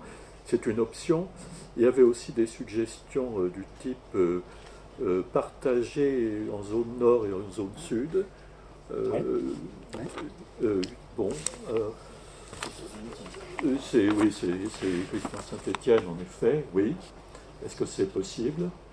Il y a aussi le retour aux monnaies nationales, éventuellement assorti d'une monnaie commune, c'est-à-dire une unité de compte le type vécu, n'est-ce pas, pour mettre fin à la logique des dévaluations internes, enfin, c'est-à-dire de déflation pour parler pratiquement. Et puis il y a une proposition personnelle, puisqu'on est là avec cette monnaie unique, qui a été critiquée, à mon avis, très intelligemment par Patrick Artus sur le terrain économique, en disant que c'est parfaitement prévisible, prédictible du point de vue scientifique. Depuis Ricardo, on sait que euh, instaurer une monnaie unique sur un dans un espace euh, économiquement hétérogène, la spécialisation se précipite. Le Nord capitalise la puissance industrielle, le Sud se spécialise dans les services non exportables, et boum, excédent structurel d'un côté, déficit structurel de l'autre, sauf à faire des, euh, se serrer la ceinture d'une telle façon qu'on meurt guéri. Quoi. Donc c'est ça. Et euh,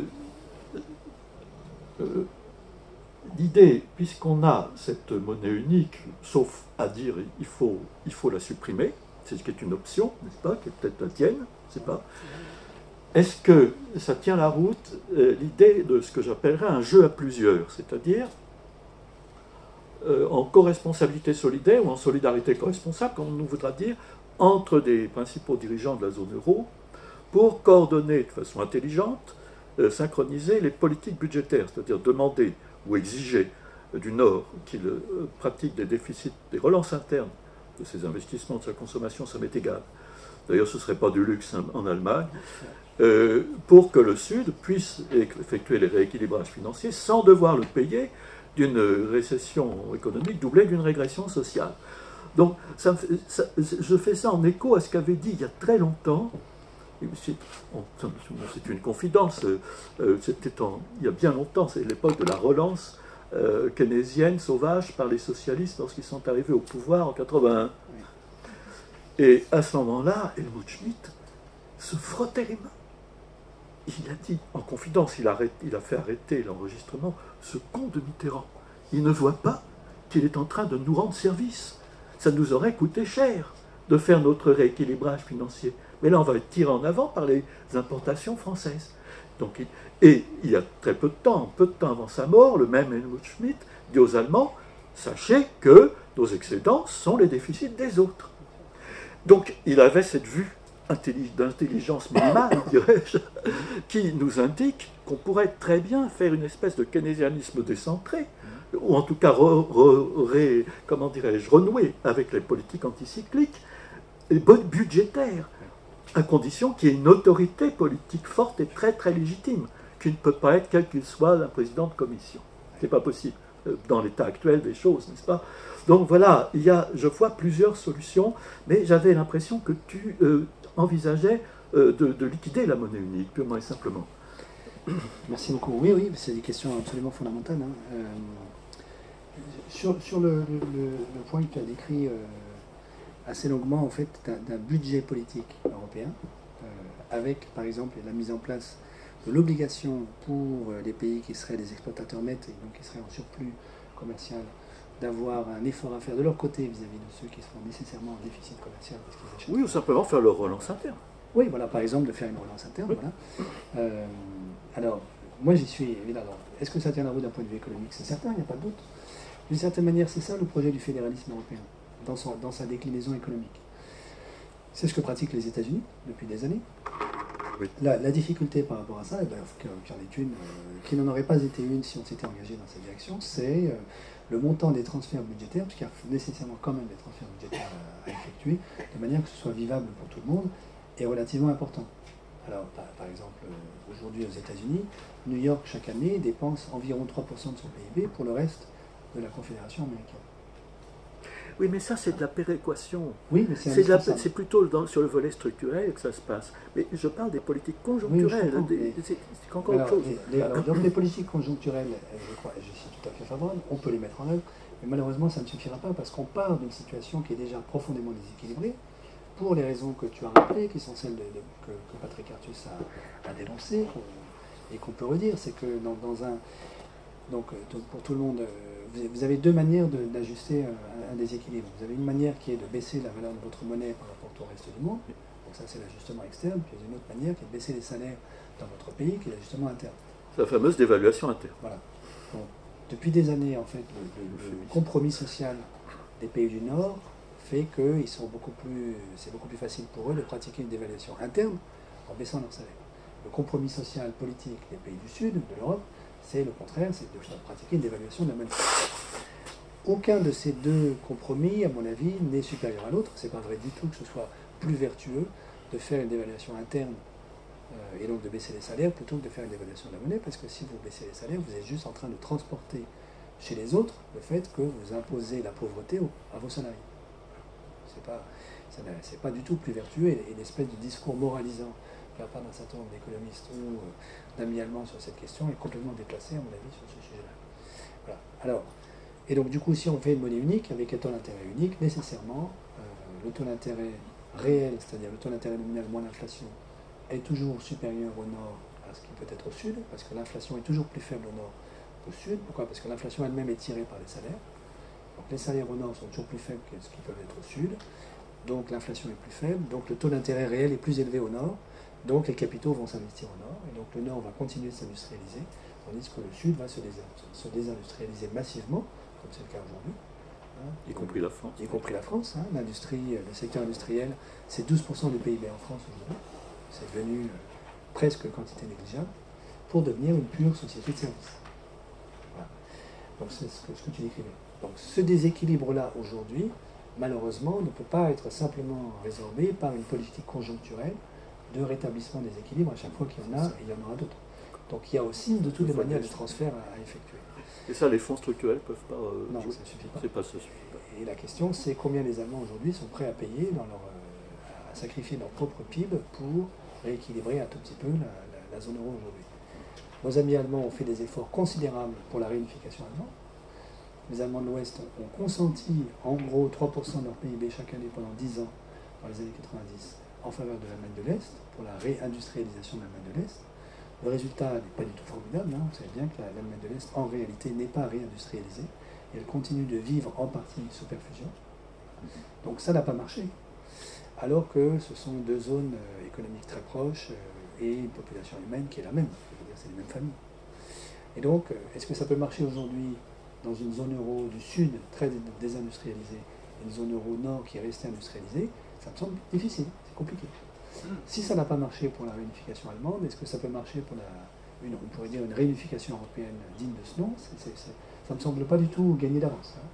Et ça n'est possible, à mon sens, que s'il y a un vrai projet, politique européen qui légitime ce que tu disais, à savoir un pouvoir politique capable de dire euh, aux Allemands, mais maintenant vous allez revaloriser vos salaires parce que vous allez faire un peu euh, d'évaluation externe plutôt que de l'évaluation interne. Ça, ça suppose un pouvoir politique fort, légitime, démocratique, capable de l'imposer. Exactement. Que nous n'avons pas aujourd'hui. c'est sûr que. Voilà. Alors, donc ça, ça pointe vers, à mon avis, le projet fédéraliste européen, euh, qui est la vraie alternative à ce que ont construit nos amis euh, dans les années 90. Et il me semble que la souffrance sociale accumulée aujourd'hui depuis 18 ans de zone euro rend la réalisation et la plausibilité de ce projet fédéraliste de plus en plus problématique. Bon, je suis antifédéraliste, hein, je te le dis tout de suite. Oui, alors c'est, donc, la, question c'est comment est-ce que tu combines l'antifédéralisme avec la proposition Alors c'est le volet de réinventer la démocratie, c'est un autre volet, mais peut-être qu'il y avait... Mais, moi ça m'intéresserait donc. Oui. Parce que ça va venir. Peut-être si vous avez des... Vous voudrez un peu cadrer le débat, si vous avez des, questions autour de, ce problème de la crise, ce qu'on a appelé la panne scatologique, de la, question de la crise du sens euro qui était le premier temps, euh, si vous avez des questions là-dessus, vous pouvez en prendre pour... On va un peu segmenter donc en trois temps la question crise, la question les communs et la question réinventer la démocratie.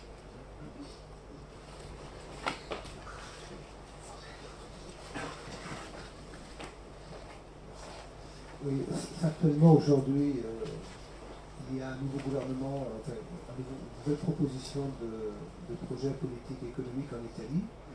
Euh, il y a eu la dernière crise très sévère pour la Grèce en 2015. Il y a beaucoup d'inquiétudes chez les économistes, euh, je crois aussi au niveau européen, sur, sur, ce projet politique et économique. Je voulais savoir un peu votre sentiment, M. Giraud, sur euh, ce, qu'il pourrait en être de, du projet européen avec, euh, avec cette nouvelle crise qui semble s'annoncer. Est-ce qu'on prend plusieurs questions ou... On prend plusieurs questions, oui.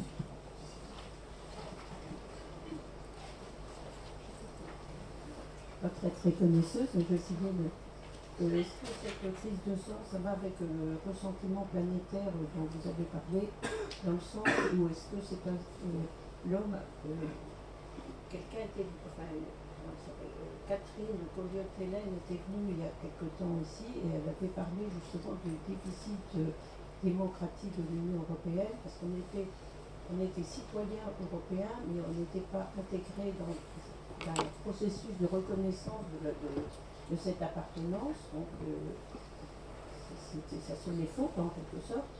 Et euh, tous ces, développements que vous nous avez donnés euh, sur le rôle du droit, et on a l'impression que ça.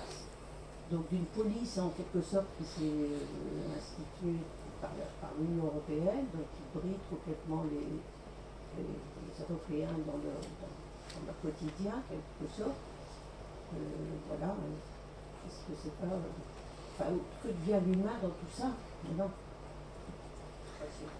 Sur la première question, juste pour que tout le monde soit bien d'accord, le, le, pré-projet sur l'Italie, le gouvernement a été euh, publié par la presse, c'était une fuite, et, dedans il y avait donc la sortie de Rome. Ah, J'entendais à la radio ce midi, euh, effectivement, on parle de relance keynésienne, on parle de s'affranchir de la règle des 3% c'est le discours qui, ressortait de l'accord entre l'Italie. Pour l'instant, il universel pour le pauvres. Et, universel.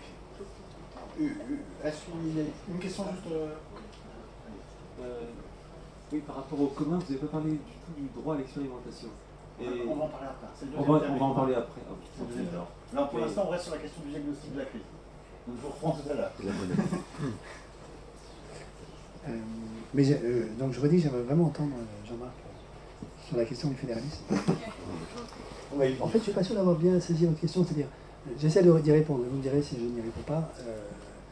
donc la, situation économique de la zone euro, de mon point de vue, malheureusement, n'a toujours pas changé en vérité depuis plusieurs années. C'est-à-dire que nous sommes dans les contre-coups de la crise de 2008, la crise financière majeure de 2008, dans une situation où vous avez un secteur privé qui est surendetté. Le problème majeur de la zone euro, c'est le surendettement du secteur privé, pas du tout du secteur public. Hein, la dette privée en zone euro, c'est 130% du PIB de la zone euro. La dette publique, c'est 100%. La France est pile dans la moyenne de zone euro, 100% du PIB. Mais le secteur privé est beaucoup plus endetté. Et quand je dis 130%, c'est sans compter la dette du secteur financier, qui est phénoménale. La dette des banques est colossale. Et bizarrement, c'est un sujet qui n'apparaît jamais dans le débat, dans public. Tous les, les regards des économistes sont focalisés sur la question de la dette publique avec une posture moralisatrice du type euh, mes enfants, vous dépensez beaucoup trop, vous vivez au-dessus de vos moyens, etc. Ceux qui dépensent beaucoup trop, c'est le secteur privé, qui s'est endetté de manière complètement inconsidérée, et en particulier le secteur financier. Donc, l'enjeu, le défi majeur d'un point de vue strictement économique pour sortir de cette crise dans laquelle nous sommes toujours, c'est le désendettement du secteur privé, et nous n'en prenons pas du tout la route aujourd'hui. Donc il peut y avoir des frémissements de PIB un tout petit peu, grâce à la croissance en partie retrouvée aux États-Unis, Et donc, immédiatement, le monde va vous dire ça y est, nous sommes sortis de la crise, c'est fini. Euh, mais je, structurellement, on est toujours complètement plongé dedans, de mon point. D'autant plus que à, cette, à ce surendettement privé se rajoute aujourd'hui de nouveau une nouvelle bulle spéculative financière, encore plus énorme que celle de 2008, alimentée par les banques centrales. Les banques centrales, depuis 2008, ont inondé les, banquiers, les, marchés bancaires, pardon, les marchés interbancaires de tombereaux de liquidités. Hein, la, BCE elle-même a créé plusieurs milliers de milliards d'euros en destination des banques. Cet argent-là n'a pas du tout alimenté l'économie réelle, mais sinon pour 10% de cette masse monétaire, mais essentiellement alimenté les opérations spéculatives sur les marchés financiers, qui ont permis de faire exploser de nouveau l'indice des cours boursiers. Donc vous avez de nouveau un découplage extrêmement profond entre l'indice des cours boursiers sur les, sur les places financières internationales et la réalité de l'économie réelle, ce découplage inévitablement provoquera un nouveau crack financier. Tout, tout à. Ma question portait davantage sur la, situation, de la troisième économie de la zone euro, qui est l'Italie. Oui. Et donc, euh, et, euh, on disait à juste titre tout à l'heure que la Commission avait réussi à tordre le cou la main à la Grèce en, 2015. Oui. Euh, quel, scénario envisagez-vous dans les prochains jours, semaines, mois, par rapport à la situation de, Alors, oui, l'Italie, puisque là, c'est quand même d'un autre calibre. D'accord, je comprends. Alors, je, finis juste ma, ma, mon petit récit. Donc, nous allons avoir une nouvelle grande crise financière et l'avenir de l'euro, à mon avis, se jouera à ce moment-là, l'avenir de la construction européenne, et euh, se jouera dans la réponse que les autorités publiques de chacun des pays de la zone euro vont apporter à cette crise financière. Maintenant, sur la question de, l'Italie. Euh, de mon point de vue, il n'y a pas. La, vraie. La question sous-jacente, c'est quelle position l'actuel gouvernement en Italie peut-il adopter vis-à-vis de la menace que la BCE ne manquera pas de brandir si elle ne l'a pas déjà fait, comme elle l'a fait pour Berlusconi et pour la Grèce? L'Italie a tout à fait les moyens de créer elle-même sa propre monnaie. Hein, donc, d'une certaine manière, un pays souverain peut très bien décider demain matin, si la BCE cesse d'alimenter ses banques en euros, d'imprimer lui-même ses euros. Ce qui a fait défaut à la Grèce, c'est que les, imprimeries qui permettent d'imprimer les euros grecs ne sont pas en Grèce, elles sont en France. Et François Hollande a refusé d'imprimer les euros grecs pour la Grèce au moment où la BCE a cessé d'alimenter la Grèce. L'Italie a les moyens d'imprimer elle-même ses euros. Est-ce que le gouvernement italien aujourd'hui se sent capable politiquement de faire un bras d'honneur à la BCE le jour où la BCE coupera l'alimentation des banques italiennes et d'imprimer lui-même ses euros, qui seront en pure illégalité au regard du droit européen, interprété par la BCE. Mais certainement qu'on peut faire travailler des juristes sur la question de savoir si la souveraineté politique de l'Italie ne lui permet pas, en situation d'urgence, d'imprimer elle-même sa monnaie. Donc la question, c'est est-ce qu'elle est prête à ça? Si elle est prête à ça, alors un certain nombre de positions politiques qui sont considérées comme extravagantes par la Commission européenne ou, euh, la BCE, euh, du type euh, mise en place d'un revenu universel, abolition de la règle des 3%, etc., peuvent être envisagées. Mais à mon avis, la question en amont cruciale, c'est sa prise, sa, liberté politique intérieure vis-à-vis du dictat de l'OSCE, je pense. Deuxième thème? Ah, nous avions en effet prévu, évidemment, un thème, c'est le thème central, le deuxième, puisque c'est les communs. Alors, euh, je sais que tu aimerais que je parle oui, de euh, réinventer la démocratie, j'espère qu'on va pouvoir y venir. Mais enfin, les communs, c'est quand même très très important. Alors, permets-moi, parce qu'il faut polémiquer un petit peu quand même, de partir d'un léger soupçon euh, rhétorique, hein, je le dis tout de suite, mais c'est quand même intéressant, à mon avis, de le signaler. C'est que le. comment dire euh, la notion de res communes.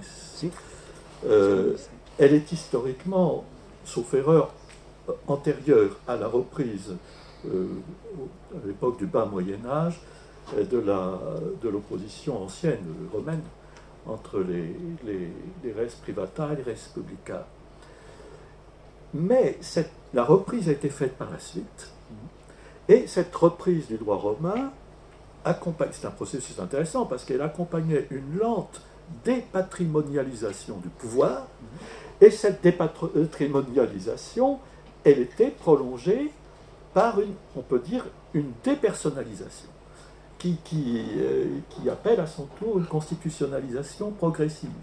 Hein, c'est l'État moderne euh, qui se profile en quelque sorte. Et cette, euh, il y a à la fois dépersonnalisation et personnification de l'État. en même temps. Une opération, on, voit Thomas Hobbes, hein, etc. Donc c'est l'État moderne qui advient.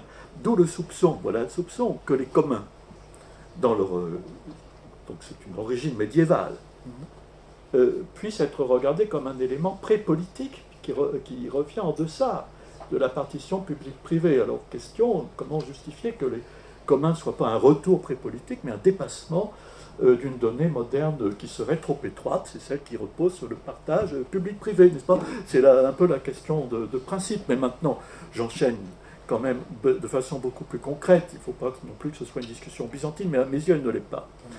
Euh, il y a euh, deux, communs qui m'intriguent. c'est la monnaie comme commun, la monnaie européenne comme bien commun. Alors, juste pour clarifier le concept, est-ce que tu peux nous dire, j'en suis sûr, pourquoi ce ne serait pas un bien public euh, Même, je, dirais encore, pourquoi la monnaie serait-elle un bien plus rival que les autoroutes, par exemple, qui sont accaparées par les camions Alors voilà, euh, une question un peu bête, n'est-ce pas Et puis il y a la question, est-ce que tu peux l'expliciter du travail comme bien commun? Je vois bien ce que c'est que la privatisation du travail. Bon, c'est très éclairant ce que tu as dit sur l'esclavage mais euh, le rapport entre le, revenu universel et le travail comme bien commun, la restauration. Permets-moi de faire référence à un article percutant, ou qui se voulait percutant, que j'avais fait dans une revue allemande, qui s'appelait en français instaurer le droit au revenu pour restaurer le droit au travail. Et ça tombe exactement, parce que je disais, il n'y a pas de droit au travail, c'est une contrainte. Il n'y a de droit que s'il y a une liberté. Donc ça rejoint un peu. Mais quel rapport avec le, commun? Voilà, avec le, statut de bien commun. Merci beaucoup, hein, c'est des questions absolument fondamentales. Sur la, première question euh, du caractère euh, éventuellement pré-politique des communs, alors je, réécris un peu le grand récit que tu as fait à toute oui, vitesse, hein, oui. pas de charge. Euh, de la manière suivante. Il me semble. Donc il y a ces trois catégories, au moins ces trois catégories, ou quatre en fait, la, res communis, la res publica, la res privata, il y a aussi la res nullius. J'oublie ah une seconde la res nullius. Il y a un débat, euh, il y a un débat avec Tardo Laval sur le lien res communis, res nullius. J'ai pas que ça, parce que c'est pas ta question. Il me semble que la le, réinvestissement dans ces catégories-là par les théologiens médiévaux, en fait au moment de la réforme grégorienne et de l'écriture du droit canon, droit canonique, euh, Grégoire VII en 1080-1090, ça a pris au moins 10 ans, qui est l'acte fondateur, me semble-t-il, d'une certaine modernité politique, parce que les droits civils des États sécularisés sont copiés sur le droit canon de l'Église. En fait, on pourrait dire que le premier État moderne, c'est l'Église, ce qui est paradoxal. Ça ne fera pas plaisir à, certains laïcs. Pour le meilleur et pour le pire. Hein. Je ne suis pas du tout pas en train de faire l'apologie de cette Église-là, pour la raison suivante, c'est que euh, elle, elle, euh, elle, véhicule avec l'écriture du droit canon, recopiée ensuite par le Royaume de France, euh, le Saint-Empire romain germanique, le Royaume d'Angleterre, etc., l'idée d'un monologisme juridique qui est, il y a une source unique de la normativité juridique qui est l'État. Alors que dans le même temps, tout le Moyen Âge est construit sur un pluralisme de, sources du droit, euh, avec des droits coutumiers, des droits traditionnels, le droit de la ville d'une certaine ville qui est pas forcément, euh, qui coïncide pas nécessairement avec le droit de l'État en construction, en gestation, etc. Pluralisme juridique qu'on retrouve dans toutes les sociétés du Sud aujourd'hui.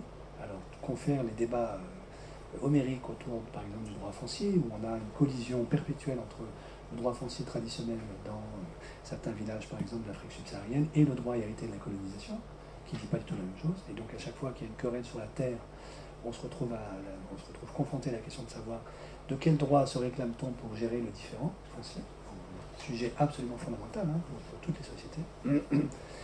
Donc au fond, en réalité, le Moyen Âge lui-même est construit sur une vie de facto, sur un pluralisme juridique euh, extraordinaire, foisonnement de sources de normativité complètement distinctes. Et ce qu'a essayé de faire l'Église, et ensuite ce qu'ont essayé de faire les États, c'est petit à petit d'unifier, d'homogénéiser tout ça, au motif que l'État, l'Église d'abord, puis l'État, serait la source unique, aurait le monopole de la normativité. Et du coup, et alors, les communs, alors, du coup, pour répondre hein, à la question, qu'est-ce que c'est qu'un commun? La, définition que j'en ai donnée tout à l'heure, hein, c'est une ressource dont la consommation est non rivale, pardon, dont la consommation est rivale et dont l'accès ne peut pas être régulé. Ça, c'est la définition néoclassique, des économistes néoclassiques, qui, euh, qui d'une certaine manière, n'est pas du tout satisfaisante. Alors, Et après, en allant très très vite, j'ai dit, mais au fond, un commun, qu'est-ce que c'est? C'est une ressource, une communauté qui s'auto-institue par le geste même où elle entend prendre soin de cette ressource, et les règles qu'elle se donne à elle-même pour avoir accès à la ressource et la faire euh, prospérer. Donc, euh, une fois qu'on a dit ça, tu vois que si la communauté c'est l'ensemble de la nation, de cette manière, il n'y a plus de distinction entre le commun et le public. Mais l'intérêt de ceci, c'est qu'une communauté qui décide de gérer une forêt, par exemple, et on a des débats en France hein, sur la gestion de la forêt, à partir du moment où elle est plus, avant qu'elle ne devienne purement un bien public ou un bien privé, ou bien le débat qu'ont eu les zadistes, qu'ont encore les zadistes Notre-Dame-des-Landes, hein, sur qui a le droit d'occuper Notre-Dame-des-Landes, et la position de l'État qui dit mais moi je défends la propriété privée ou la propriété publique, il n'y a, aucune alternative entre ces deux, ces deux pôles. Le débat rebondit avec ceux qui ont été expropriés. Voilà, tout à fait, exactement. Et donc, euh, est-ce qu'on s'autorise dans l'espace politique européen, en fait, qu'une communauté puisse s'auto-instituer et de dire, moi, je, crée du droit sur la manière dont, moi, communauté locale, par exemple, je prétends euh, gérer l'accès à une ressource dont je prends soin.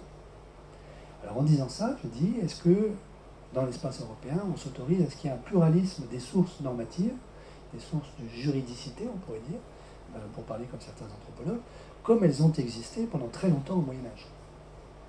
Alors, quand tu me dis, mais est-ce qu'au fond ces communs-là ne sont pas pré-politiques?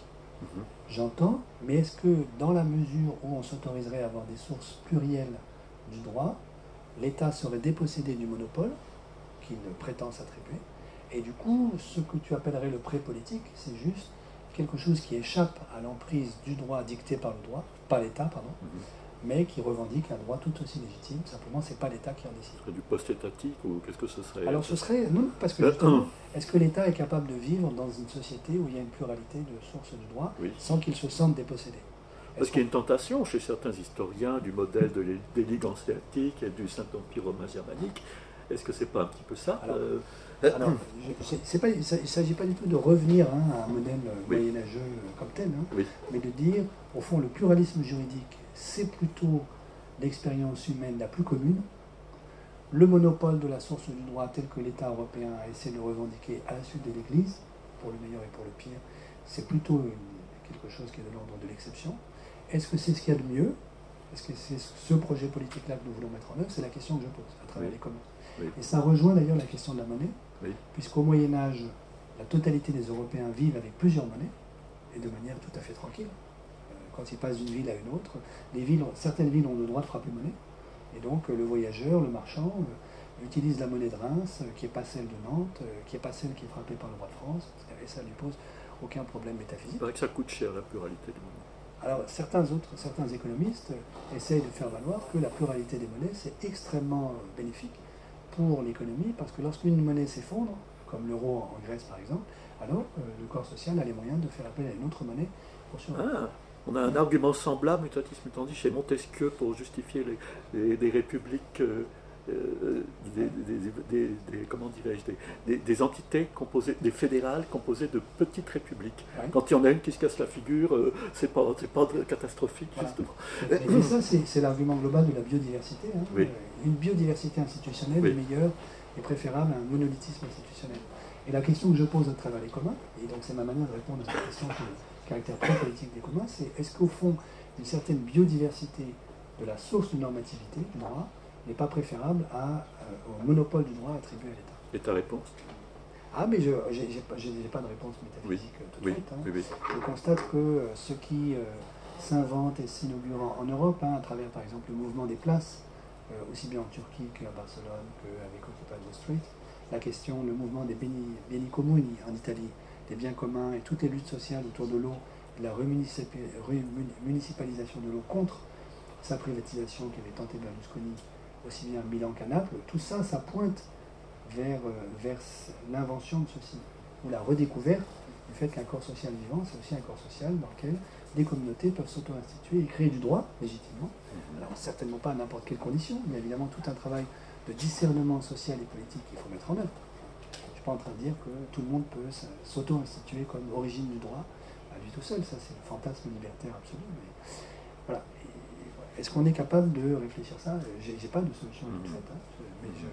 mais, je, pose la question. Alors après, tu m'as posé une autre question ici tout à fait euh, passionnante, c'est le travail comme bien commun.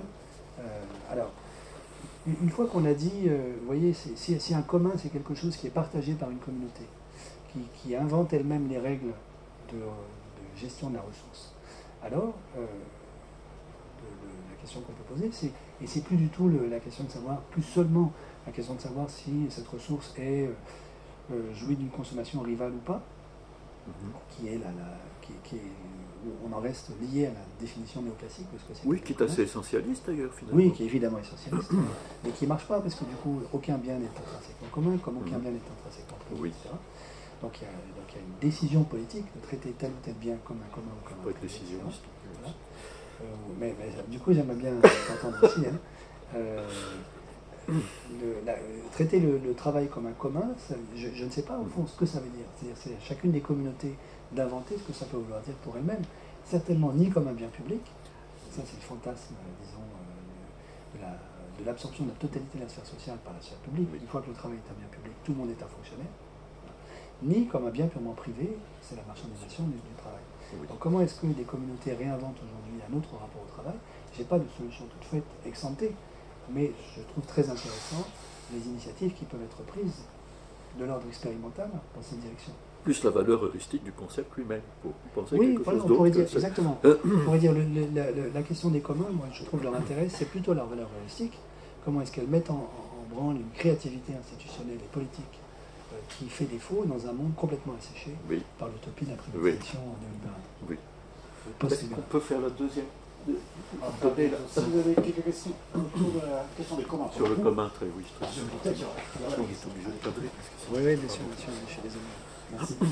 Euh, justement, autour de ces expérimentations euh, du travail comme commun, il me semble qu'il y a trois voies qui existent et qu'il y avait eu un débat ici, euh, dans le débat séparation publique-privée, enfin un débat que moi j'avais eu en tout cas avec Danny Land. Et donc il y a le, revenu de base qui, couvre tout un tas du spectre politique. Il y a l'idée d'un revenu de base ou, de l'accès aux ressources écologiques euh, de vie, euh, comme ça peut vivre par exemple sur la ZAD ou comme euh, Baptiste Milando à Lyon développe dans l'idée de la coopérative d'inactivité, du temps choisi, tout ça. Et il y a l'idée du, salaire à vie qui, même semble, c'est le travail comme commun pour les salariés, les entrepreneurs. Et il me semble que ces trois versions-là, mettent en jeu des manières de valoriser l'activité ou le travail, je ne sais pas, qui sont totalement différentes et on ne réussit pas du tout à arrêter des, idées de ce que serait le travail à travers ces, trois pôles-là. Et du coup, je ne sais pas si vous avez un, éclairage à nous donner là-dessus. D'accord. Une autre question Bonjour, j'ai une question euh, concernant le travail comme, euh, comme un commun. Dans votre diaporama, vous, vous évoquez l'entreprise et son objet qui pourrait euh, euh, faire partie tant que commun. Euh, dans l'actualité, justement, il y a eu un, rapport qui, a été publié en 2017, c'est le rapport de Tassénard, justement, qui essaie de redéfinir ce que c'est qu'une société, une entreprise avec l'idée d'une raison d'être, qui serait un peu un, point de convergence entre toutes les parties prenantes d'une entreprise. Est-ce que justement, vous irait dans ce sens-là pour vous du travail comme commun? Et dès lors, est-ce qu'on ne verrait pas euh, deux logiques qui pourraient exister au sein même d'une entreprise? Une logique euh, commune et c'est une logique quand même financière qui demeurerait euh, dans, au sein de l'activité politique. Merci.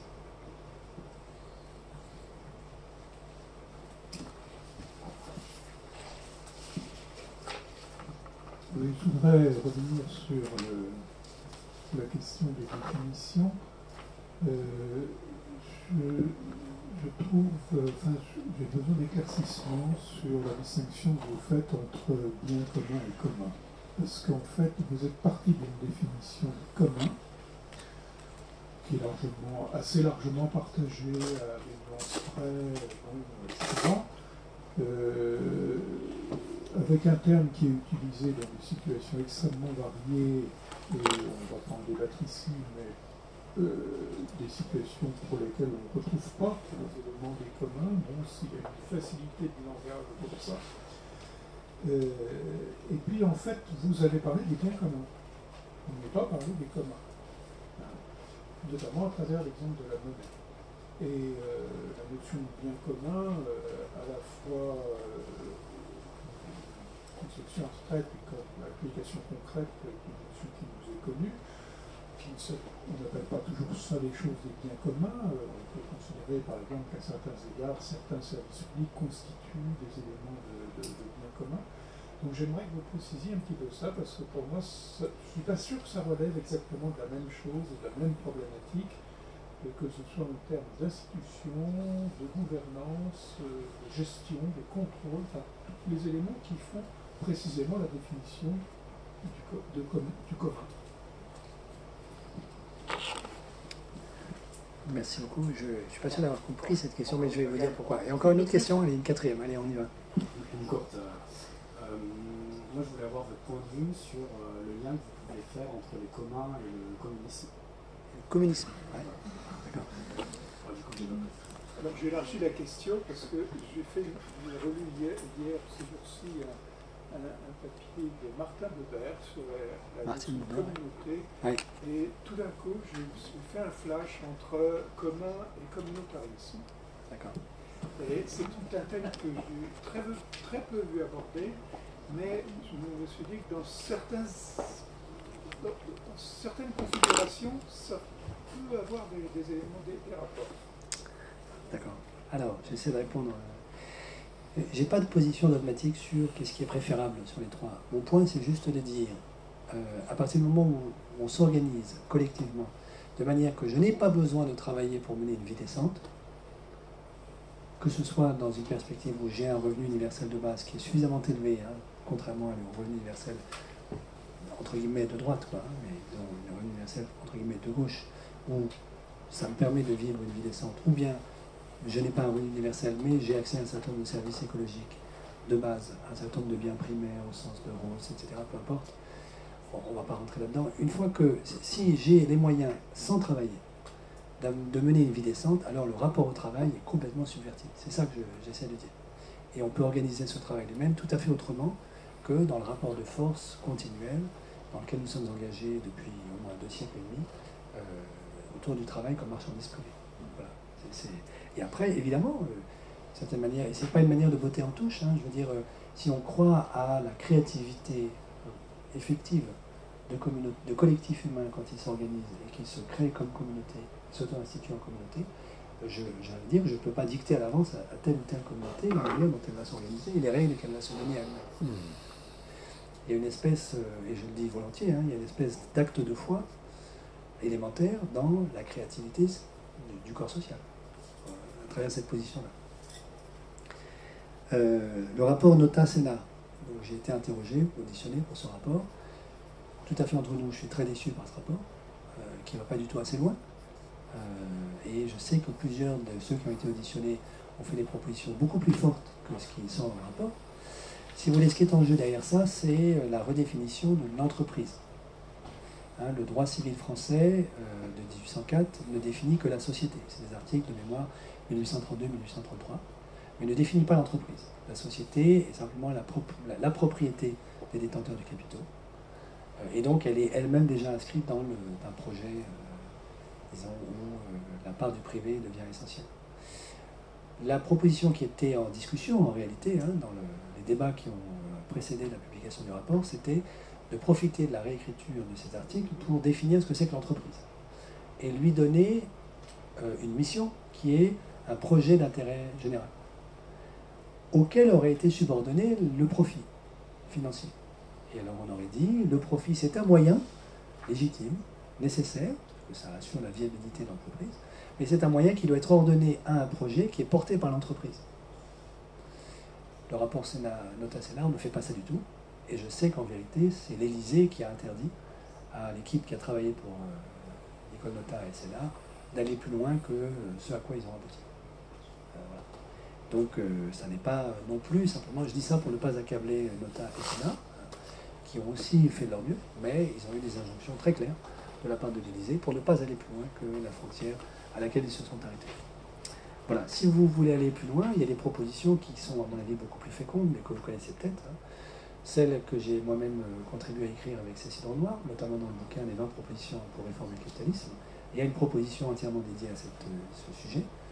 Euh, vous avez également ce qu'a écrit Daniel Hurstel, un avocat d'affaires parisien, sur la redéfinition du statut d'entreprise. Puis vous avez ce qui a été fait par les Bernardins, notamment, autour de, du, statut de l'entreprise, notamment avec Olivier Favreau.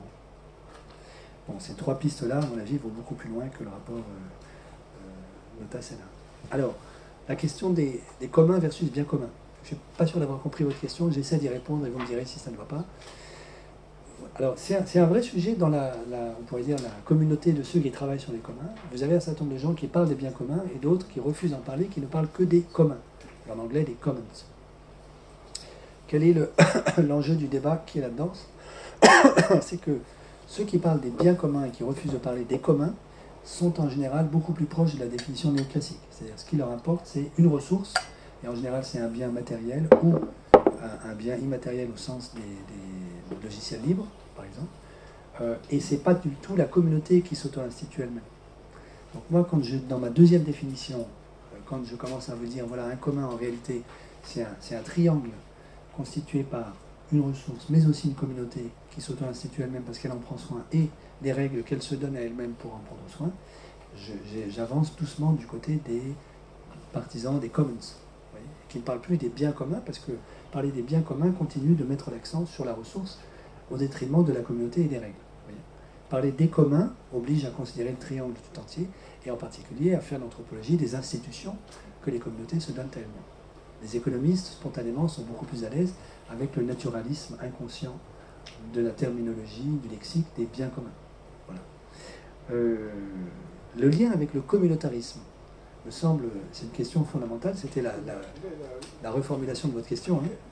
Excusez-moi, pourquoi euh, la monnaie est un commun bien commun Alors, ben, vous voyez, peu, importe que ce soit la monnaie ou, autre chose, si vous parlez plutôt en termes de bien commun, et que vous, vous adhérez, vous restez dans un voisinage de la définition néoclassique, vous, avez, vous allez vous poser la question, euh, qu'on s'était posé tout à l'heure avec Jean-Marc, qui est est-ce que la consommation de la monnaie est rivale euh, et est-ce qu'on peut en réguler l'accès? Alors, on peut rentrer dans ce débat-là. Est-ce que la consommation de la monnaie est rivale? La réponse, dans une certaine mesure, est oui, si je n'ai aucun pouvoir de création monétaire. Si la quantité de monnaie en circulation est constante, ce qui est le mythe dans lequel fonctionnent beaucoup de modèles néoclassiques, alors le fait que Jean-Marc ait beaucoup de monnaie dans son portefeuille, ça fait qu'il y en a autant qu'il n'y en a pas pour moi, puisque la monnaie, la quantité est constante. En revanche, si nous pouvons partager démocratiquement un débat délibératif sur la création monétaire, alors euh, éventuellement le fait que Jean-Marc soit très riche n'est pas un problème pour moi. Vous voyez ce que je veux Comment Pour moi non plus. Mais vous voyez ce que je veux dire et donc, et donc on sort du débat sur la question de savoir si... il faudrait avoir le même débat sur les autres aspects, l'institution, les règles de gouvernance. Ah bien sûr, évidemment. Mais vous voyez bien que la définition du commun comme triangle, permet d'entrer dans la question du débat démocratique sur comment est-ce que la communauté a décidé des règles qu'elle s'est auto-attribuées pour gérer le commun. Mais tant qu'on en reste à une définition essentialiste du telle, telle ressource est intrinsèquement un, bien commun ou pas, vous voyez, on ne peut pas entrer dans ce débat. Voilà. Euh, voilà ce que je peux dire. Et puis en dernier lieu, la question du communisme. Ah, pardon, vous aviez quand même aussi une autre question que vous avez esquissée dans votre deuxième prise de parole, qui était le lien avec le communautarisme, hein, me semble-t-il. Hein. En tout cas, c'est comme ça que je l'ai entendu. Euh, question qui me paraît très importante. D'une certaine manière, et, mais, Jean-Marc est évidemment beaucoup mieux placé que moi pour euh, parler de ce genre d'affaires. Hein.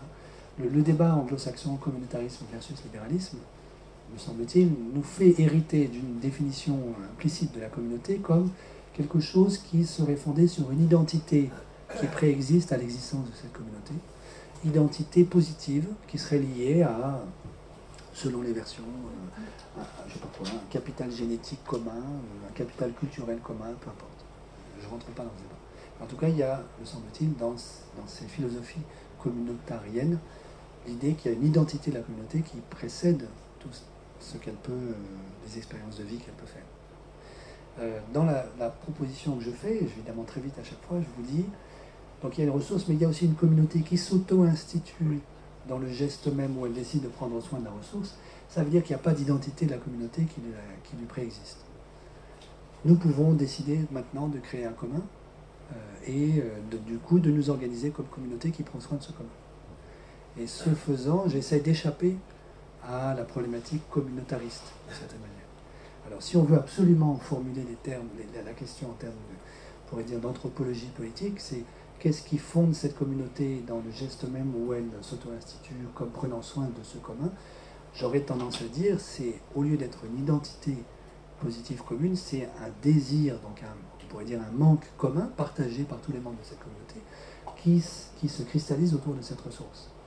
Nous avons tous besoin, par exemple, de, euh, des poissons qui sont dans cet étang, et donc nous allons nous organiser de manière à faire prospérer les poissons dans cet étang. Mais ce qui nous relie, c'est un manque et non pas une espèce d'identité positive fantasmée. Euh, on pourrait dire la même chose, est-ce que la culture est un commun? Et oui, quand je pose cette question, évidemment, je sors forcément du cadre néoclassique. Et ma réponse est, j'aurais envie de dire oui, pourquoi pas, à condition que ce soit compris comme ce, qui nous, que nous partageons en commun, c'est un désir inassouvi qui se dit dans la culture, et certainement pas une identité culturaliste qui nous précéderait. Voyez? Voilà. Alors après, la question du communisme, euh, euh, évidemment, ces deux choses n'ont rien à voir. Le communisme, tel qu'il s'est vécu, en tout cas, dont on a fait l'expérience, c'est l'absorption de la sphère sociale par la sphère publique. Et donc c'est l'un des deux pôles possibles dont les communs veulent nous extraire, c'est-à-dire soit la privatisation du monde, soit cette absorption-là par la sphère publique. Les communs, l'utopie des communs, essaye de dire non, non, il y a une troisième voie, qui n'est ni la privatisation du monde, ni l'absorption de la sphère sociale par la sphère publique, qui est la possibilité, dans une créativité que je ne peux pas anticiper à l'avance, hein, par les communautés qui s'auto-instituent elles-mêmes, de se donner des règles euh, par lesquelles nous prenons soin de ce à quoi nous tenons. Là, on arrive à la partie politique, se réinventer la démocratie. Oui, qu'on ne veut quand même pas laisser totalement en point Alors, euh, et essayer de la penser, cette, enfin, c'est réinventer une démocratie euh, sans, sans, quitter la thématique du commun. C'est quand même pas facile. Alors, euh, voilà, je reprends un peu tes propositions. Retirer à la Commission le pouvoir d'initiative, euh, conférer au Parlement européen plus de pouvoir qu'il n'en a actuellement. Et puis, troisièmement, à mes yeux, c'est le troisièmement qui est le plus décisif et le plus important, tel que je l'interprète, rompre avec le style diplomatique des négociations discrètes, voire secrètes, pour engager résolument un style euh, beaucoup plus démocratique de confrontation euh, ouverte mais non moins civile et publique par conséquent. Voilà, parce que ça, ça change tout. C'est ça qui fait advenir le politique européen. Et à mon avis, bien que ce ne soit pas très euh, bottom-up, ce que je dis, mais il faudrait que ce soit initié justement par les chefs de gouvernement dans des conférences de presse conjointes et contradictoires de préférence. Voilà. alors ça, je suis tout à fait d'accord avec le troisième point. Le premier et le deuxième me semblent un petit peu illusoires, parce que d'abord la commission, c'est important, la commission à mon avis. Pourquoi constitutionnellement? Parce que c'est le seul pouvoir euh, qui puisse être politiquement responsable. Euh, le, Conseil ne peut pas être politiquement responsable puisque ses membres sont légitimés par ailleurs. Donc euh, la commission se profile, mais in nucleo, euh, comme un gouvernement potentiel, mais qui n'a pas de force et qui n'a pas de légitimité. Donc ne sacrifions pas, à mon avis, euh, quand la Commission, euh, ou en tout cas son élément, l'élément qu'elle représente, l'élément gouvernemental qu'elle représente, et puis rendre au pouvoir, rendre donner du pouvoir au Parlement européen, pourquoi pas, il y en a déjà eu plus qu'avant, ces, prérogatives traditionnelles du Parlement, législature, investiture, contrôle, censure, euh, tu pourras doter le Parlement européen de tous ces pouvoirs-là. À mon avis, il continuera de ne représenter à peu près rien ni personne. Il n'a pas de visibilité. Euh, ça tient aussi pour partie au mode de scrutin électoral qui n'est pas homogène et qui est mauvais, puisque enfin, je ne sais pas ce que tu en penses, mais on ne voit plus le député euh, il ne représente pas, enfin, on n'a pas le sentiment d'être représenté, me semble-t-il, par les, députés européens. Je pense que réinventer la démocratie, ça doit être très ambitieux. Et euh, puisqu'on parlait du jeu à plusieurs tout à l'heure, euh, et qu'on parlait aussi d'une autorité qui pourrait agencer et imposer, le cas échéant, ce jeu à plusieurs de solidarité co-responsable, eh bien, euh, commençons par là. Cette autorité, à mes yeux, ce devrait être un président de l'Union, par pitié un seul, qui n'en pas, soit pas dans une armée mexicaine, et, qui, euh, soit investi intelligemment. C'est-à-dire que, euh, par exemple, chaque Parlement, euh, des, chaque État membre réunisse son propre congrès parlementaire, mettons 30 en chiffre rond, il envoie 30, il propose 30 candidats au total. Le, Parlement européen en retient 10, le Conseil européen en désigne un. Peu importe la procédure, mais tu imagines l'orchestration euh, médiatique qui accompagne le processus euh, d'élection, d'onction, dirais-je, démocratique euh, du, de cette autorité, du président de l'Union européenne. Il jouit d'une telle légitimité, d'une telle visibilité, qu'il aura l'autorité pour imposer le jeu de la solidarité co-responsable. C'est le premier élément sur le, sur le volet du gouvernement, du pouvoir gouvernemental. Maintenant, il faut de la démocratie. Mais déjà, tu as un élément commun, parce que autorité n'est pas souveraineté. Les États membres restent souverains, mais on oblige à la co-souveraineté.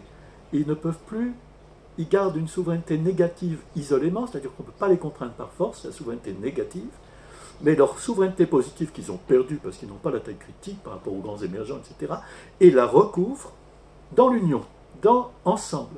Et pour ça, comme c'est une pratique, c'est un apprentissage moral et politique qui n'est pas évident, qui n'est pas spontané, il y a un élément de contrainte nécessaire, et cette contrainte, à mes yeux, c'est cette autorité légitime.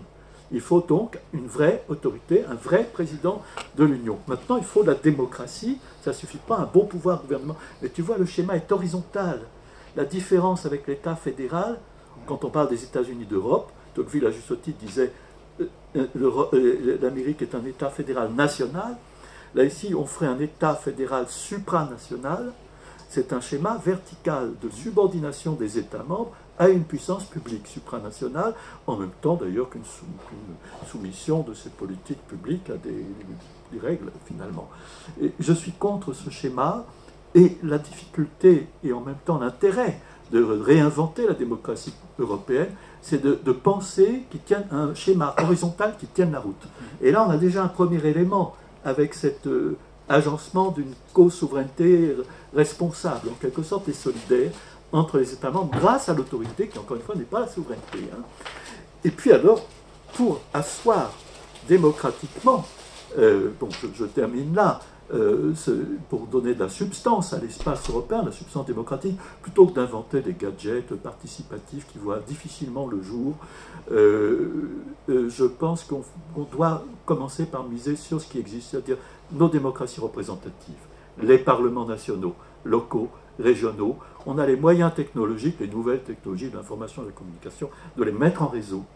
Comme disait Anna Arendt, la chambre est trop petite pour tout le monde. Bon, maintenant, c'est plus question de les mettre dans une chambre, mais on peut les mettre en réseau pour qu'ensemble, ils soient connectés horizontalement entre eux. Un élu de Dordogne m'avait dit qu'il avait plus à voir avec un élu de Bavière qu'avec le gouvernement français, qui partagent ensemble des réclamations, des suggestions, des revendications, que euh, ce soit relié verticalement, mais dans les deux sens avec le Parlement européen, dans les deux sens, et le Parlement européen, du coup, acquiert une visibilité énorme parce qu'il devient le clé de voûte et le lieu de synthèse d'un système interconnecté des parlements. Et c'est une irrigation démocratique totale de l'espace européen.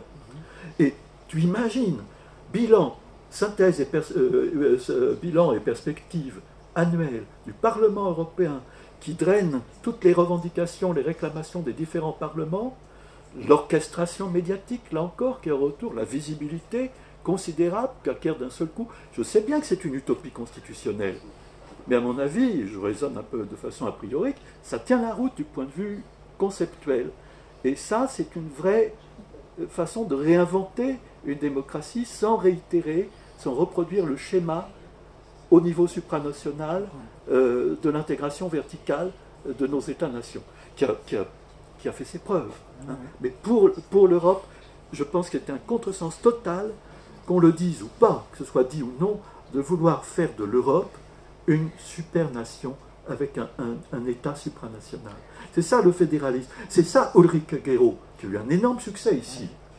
Et je suis totalement contre son schéma, qui me paraît une folie. C'est le meilleur moyen de, de déconnecter le pouvoir européen des peuples. Et quelles sont les prérogatives du, du président de l'Union? Eh bien, avant tout, euh, d'agencer la concertation entre les États et la coordination de leur politique publique, en particulier sur le niveau budgétaire. Et donc de l'imposer? Le cas échéant, oui. C'est-à-dire que si ça coince, il fait appel aux opinions publiques. Par-dessus la tête des dirigeants. D'accord.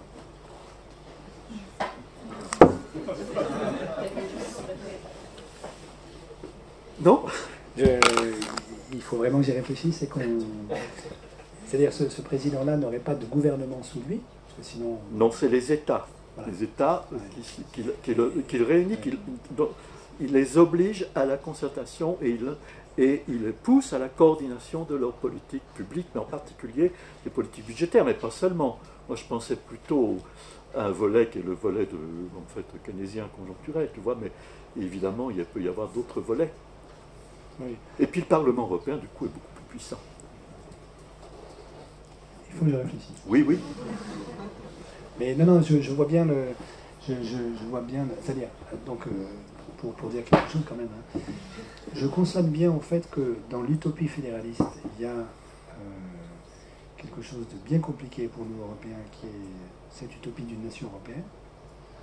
Donc, euh, je, consonne, disons, la démolition de l'utopie fédéraliste dans ce sens-là. Hein. Oui, oui. Les États-Unis d'Europe. Oui, tout à fait, voilà. Oui même si elle continue d'être invoquée aujourd'hui par quelques Bien sûr. par un certain nombre de personnes.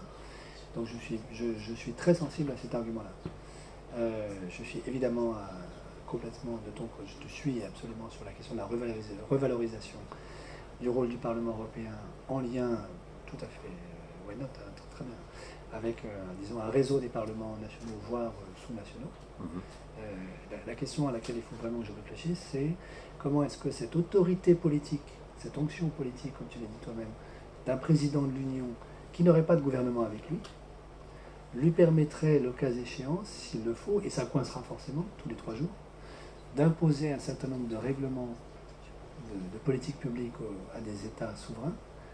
Alors que lui-même euh, n'est pas euh, à la tête d'un gouvernement supranational. Oui. Voilà. Il ne s'agit pas de faire un État supranational, en fait. Mais euh, il s'agit d'avoir une grande autorité politique mmh. directe sur les dirigeants. Mmh. Donc c'est comme si on les formait en conseil, mais un conseil qui...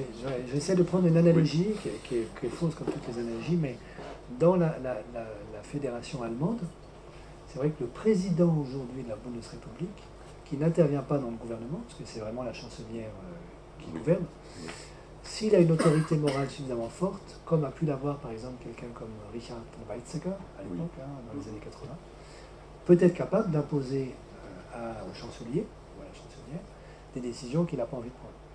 Parce qu'il a une autorité euh, morale quasiment, dans l'opinion publique allemande suffisamment forte pour le faire. Oui, mais là, le président de l'Union aurait, outre l'autorité morale, une légitimité politique. Non, franchement, je sais pas, j'essaie de comprendre. Même à l'époque de Richard Weizsäcker, ce n'était pas possible. Euh, sauf peut-être sur quelques questions extrêmement morales, justement, mais, mais c'est à peu près tout. Euh, en revanche, si on veut raisonner sur une autorité politique qui, à l'échelle européenne, a réussi à un moment donné à exercer un pouvoir et de regarder à quelles conditions c'était possible, c'est le cas de l'or qu'il faut regarder. C'est comment, comment une commission comme celle de Delors a été possible, et on oublie tout le temps que c'est moins les qualités de l'homme, quoi que ce soit, qui, sont en jeu, c'est surtout les conditions politiques c'est-à-dire le fait qu'il y avait et Mitterrand et Kohl, de l'or n'est possible que parce qu'il y a Mitterrand et Kohl, qu'il y a un tandem qui met cet homme-là au pouvoir sur la base d'un deal politique entre eux, et Delors ne peut faire que ce que le deal euh, permet. Et lorsqu'il a Thatcher en face de lui, il applique le deal. Donc, euh, plutôt que de polariser sur l'homme et ses réussites, etc., c'est sur la construction politique qui est derrière, qui montre au passage que ce n'est pas l'autorité elle-même, la personne qui, l'occupe qui compte, mais les conditions politiques qui président à, sa, construction. Et donc c'est quelque chose de relationnel. C'est-à-dire il ne peut exister que sur la base de plusieurs dirigeants qui, dans l'espace européen, acceptent ce schéma-là. En plus, il y a l'investiture démocratique. Donc si on suit ta ligne à toi, hein, qui m'a l'air un peu différente de celle de Jean-Marc, ce président même élu, de toutes les manières, sera contraint de passer des compromis perpétuels avec les chefs d'État euh, des États souverains, euh, et s'il n'y a pas, par exemple, de consensus franco-allemand, euh, il est dans une situation bien compliquée. Mais on l'a déjà vu. C'est-à-dire que quand il a fallu faire pour la première fois un président de l'Union, il y a eu un deal entre les Allemands, les Anglais et les Français. bien d'accord. Et le deal a été euh, non, on ne prend pas un politique lourd. Mais c'est pas comparable. on a pris, oui, mais le choix quand même. Alors, il n'y avait pas d'élection. Je suis d'accord avec toi. Ça le vote, ça changerait tout à cause de ça. Le deal intergouvernemental sur mise en place d'un président a été on prend le plus faible possible pour que ça nous embête le moins possible. Et du coup, ça a été Van Rompuy. Non, mais d'où l'importance de toute la procédure d'investiture démocratique. C'est ça. mais je partage. Hein, Par contre, on, pourrait prendre un autre exemple. Pour moi, la, faiblesse sur la question de l'initiative de la Commission européenne, elle vient d'ailleurs. Euh, on a un exemple sur la question du CETA. D'où est venue euh, l'objection ou le désaccord sur la question du CETA d'un Parlement régional, la Wallonie? C'est pas le Parlement européen. Le Parlement européen, il s'est pris les pieds dans le tapis, même s'il y a quelques personnalités politiques qui, à l'intérieur du Parlement, ont fait un gros boulot. Les cadeaux, etc., ils ont fait un gros boulot, c'est certain. Mais, globalement, le Parlement, il s'est pris complètement les pieds dans, le tapis. Je suis complètement d'accord, mais ça, c'est, disons, j'essaie de défendre un tout petit peu le Parlement européen, il est en, plein dysfonctionnement encore aujourd'hui. Il n'arrive pas du tout à assumer ses responsabilités, il est sous-informé, il a lui-même l'objet de lobbying extrêmement intense. Euh, heureusement que le Parlement de la Wallonie a sauvé d'une certaine manière l'honneur et l'intégrité des Européens, euh, a finalement quand même perdu la bataille, malheureusement. Euh, vraiment? Ah oui, vraiment, ah complètement. Elle a, complètement perdu la bataille. mais ça ne veut pas dire pour autant qu'il faille dire, condamner le Parlement européen comme tel. Ils, se, sont complètement plantés. De, de, la même manière que, par exemple, pour prendre un autre exemple, hein, à l'issue de la bagarre française sur la, la, fausse loi de séparation bancaire de 2013, qui prétend séparer les banques mais qui ne le fait pas, mhm. euh, qui est l'analogue de la loi allemande qui fait la même chose. Mhm. Cette espèce de nouvelle invention juridique où on, passe une loi pour que quelque chose n'advienne pas, tout en faisant semblant de le faire advenir. Comme vous le savez, le commissaire européen Michel Barnier a proposé quand même d'aller un tout petit peu plus loin, et c'est le Parlement européen qui a retoqué la proposition de Barnier, ce qui est quand même un paradoxe euh, incroyable. Mais parce que le Parlement européen aujourd'hui n'est pas du tout puissant euh, et capable d'imposer sa propre autonomie de pensée il est complètement euh, instrumentalisé par les lobbies, pour l'instant. Question de votre part sur la question de euh, réinvention de la démocratie européenne. Je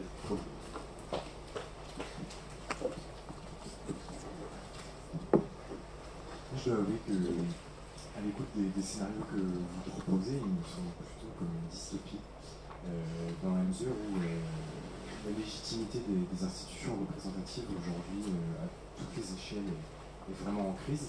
Et peut-être qu'on peut la refonder avec des, procédures d'investiture et, je sais pas, une forme d'autorité et d'appel à une connexion morale entre le peuple et, une autorité ou un individu. Mais euh, ça me semble louper tout un pan de la recherche sur les questions démocratiques qui est euh, la légitimité de plus en plus de personnes différentes à participer au processus de délibération publique et euh, je pense qu'on ne pourra pas revenir en arrière parce qu'il y a beaucoup d'espaces politiques en ce moment, que ce soit en France ou à l'échelle européenne, dans lequel c'est ça ce qui est porté. Et, en partie d'ailleurs le succès du mouvement 5 étoiles, qui est un mouvement qui pose beaucoup de questions très problématiques, se fait sur cette légitimité-là. Donc on ne pourra pas revenir en arrière et dire refonder toute la démocratie européenne à mon avis sur uniquement de la D'accord, oui, j'aurais aussi à répondre. vas-y, vas-y. Vas-y, Jean-Marc qui va répondre. Jean-Marc. Pardon.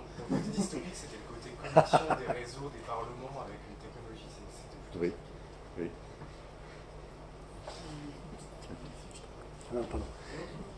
Juste là-dessus, euh, j'aimerais être d'accord avec vous euh, quand vous dites c'est irréversible, mais même le mouvement Cinque Stelle en Italie est dans une relation extrêmement ambiguë avec l'extrême droite italienne, par la force des choses. Tout ceci peut se terminer par une extrême droite qui prend le pouvoir en Italie et qui remet en place des solutions antidémocratiques. Euh. Donc, du coup, ce que vous appelez euh, un caractère irréversible de certaines formes de démocratie participative, malheureusement, j'aimerais être d'accord avec vous, ça me semble extrêmement fragile. Hein. Et on n'est pas du tout. démocratie participative, c'est la participation, euh, mais pour moi, c'est un pléonasme.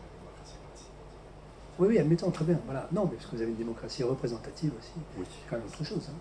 Mais, euh, et, je ne suis pas sûr du tout qu'on soit à l'abri de ça en France. Euh, la ligne que nous empruntons aujourd'hui, d'autoritarisme technocratique, euh, tout à fait capable de dévier dans une direction analogue je ne sais pas si, si, mon, petit scénario était, était, visé dans ce, que vous, dans ce que vous dites, mais pour, le, préciser un petit peu, je ne vise absolument pas à remplacer euh, une légitimité euh, démocratique par une légitimité charismatique, Euh, il s'agit au contraire de réactiver la démocratie parlementaire, la démocratie représentative.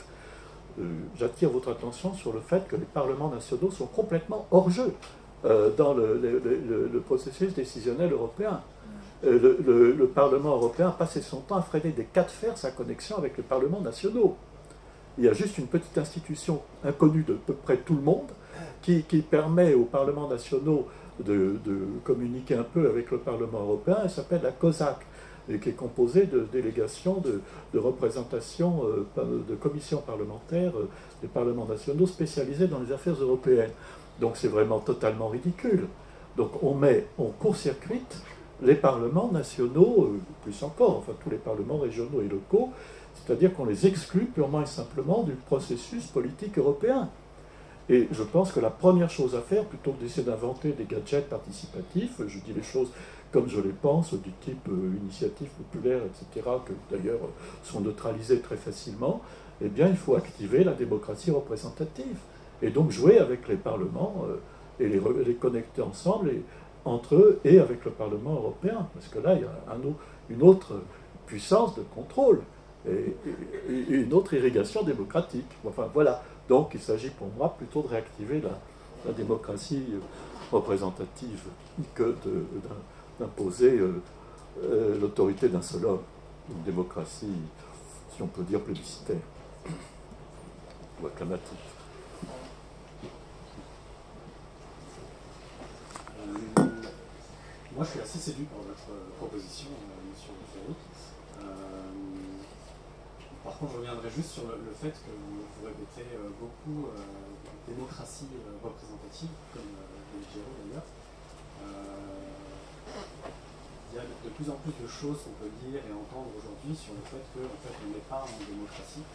Le, le, vrai nom, ce serait plutôt gouvernement représentatif. Mhm. la démocratie, c'est bien autre chose et que le simple fait d'utiliser le mot nous empêche d'imaginer ce que pourrait être une vraie démocratie aujourd'hui ne sais pas si vous connaissez euh, Étienne Chouard, qui a toute, euh, toute, une idée, un projet euh, sur, le, sur le sujet. Alors moi, je, suis assez séduit par le, le fait qu'il explique bien qu'au début, les démocraties n'étaient pas du tout vues comme quelque chose de bienfaisant, on va dire, que c'était le meilleur moyen de faire advenir le chaos dans les sociétés, que c'est que récemment, en fait, que le, mot a trouvé, une certaine attraction. Euh, donc voilà, peut-être que cet abus de langage peut déjà permettre d'avancer, on va dire, dans, la bonne direction. Du coup, Étienne Chouard, ce que lui remet vraiment en question, pour le c'est un, la réécriture de la Constitution. sans ça, on n'arrivera nulle part. Et que l'élection n'est pas, enfin ça c'est pas lui qui, qui le dit, c'est je crois, mais que l'élection est aristocratique euh, par nature et que c'est le tirage au sort qui est démocratique. Donc moi je serais plus attiré par ce genre de solution euh, un petit peu radical, certes, qu'on ne pourrait pas mettre en place, qui paraîtrait presque utopique, mais du coup, c'est peut-être le bon mot. C'est utopique, c'est un horizon qu'on cherche à atteindre, ça nous pousse à prendre les bonnes décisions. Mmh, mmh. Tu peux, tu peux dire quelque chose Oui, je peux dire quelque chose sur cette, cette, question de la démocratie représentative. Il me semble qu'il y, y, a au moins deux types de démocratie représentative passe le contrôle de Jean-Marc. Une où je délègue tous mes droits à quelqu'un qui va me représenter, à qui je fais confiance et qui prend ses décisions sans éventuellement avoir à rendre compte des décisions qu'il a prises vis-à-vis de moi. C'est exactement ce qui se passe aujourd'hui à travers l'opacité du Conseil de l'Europe. Nous envoyons nos représentants, légitimement élus, qui vont discuter, négocier, qui reviennent et nous ne savons pas le, terme de la, négociation. Il y a une deuxième compréhension de la démocratie représentative où je ne fais pas du tout un chèque en blanc à celui qui est supposé me représenter, je le nomme avec un mandat très clair, une mission à accomplir à travers la négociation qui va être la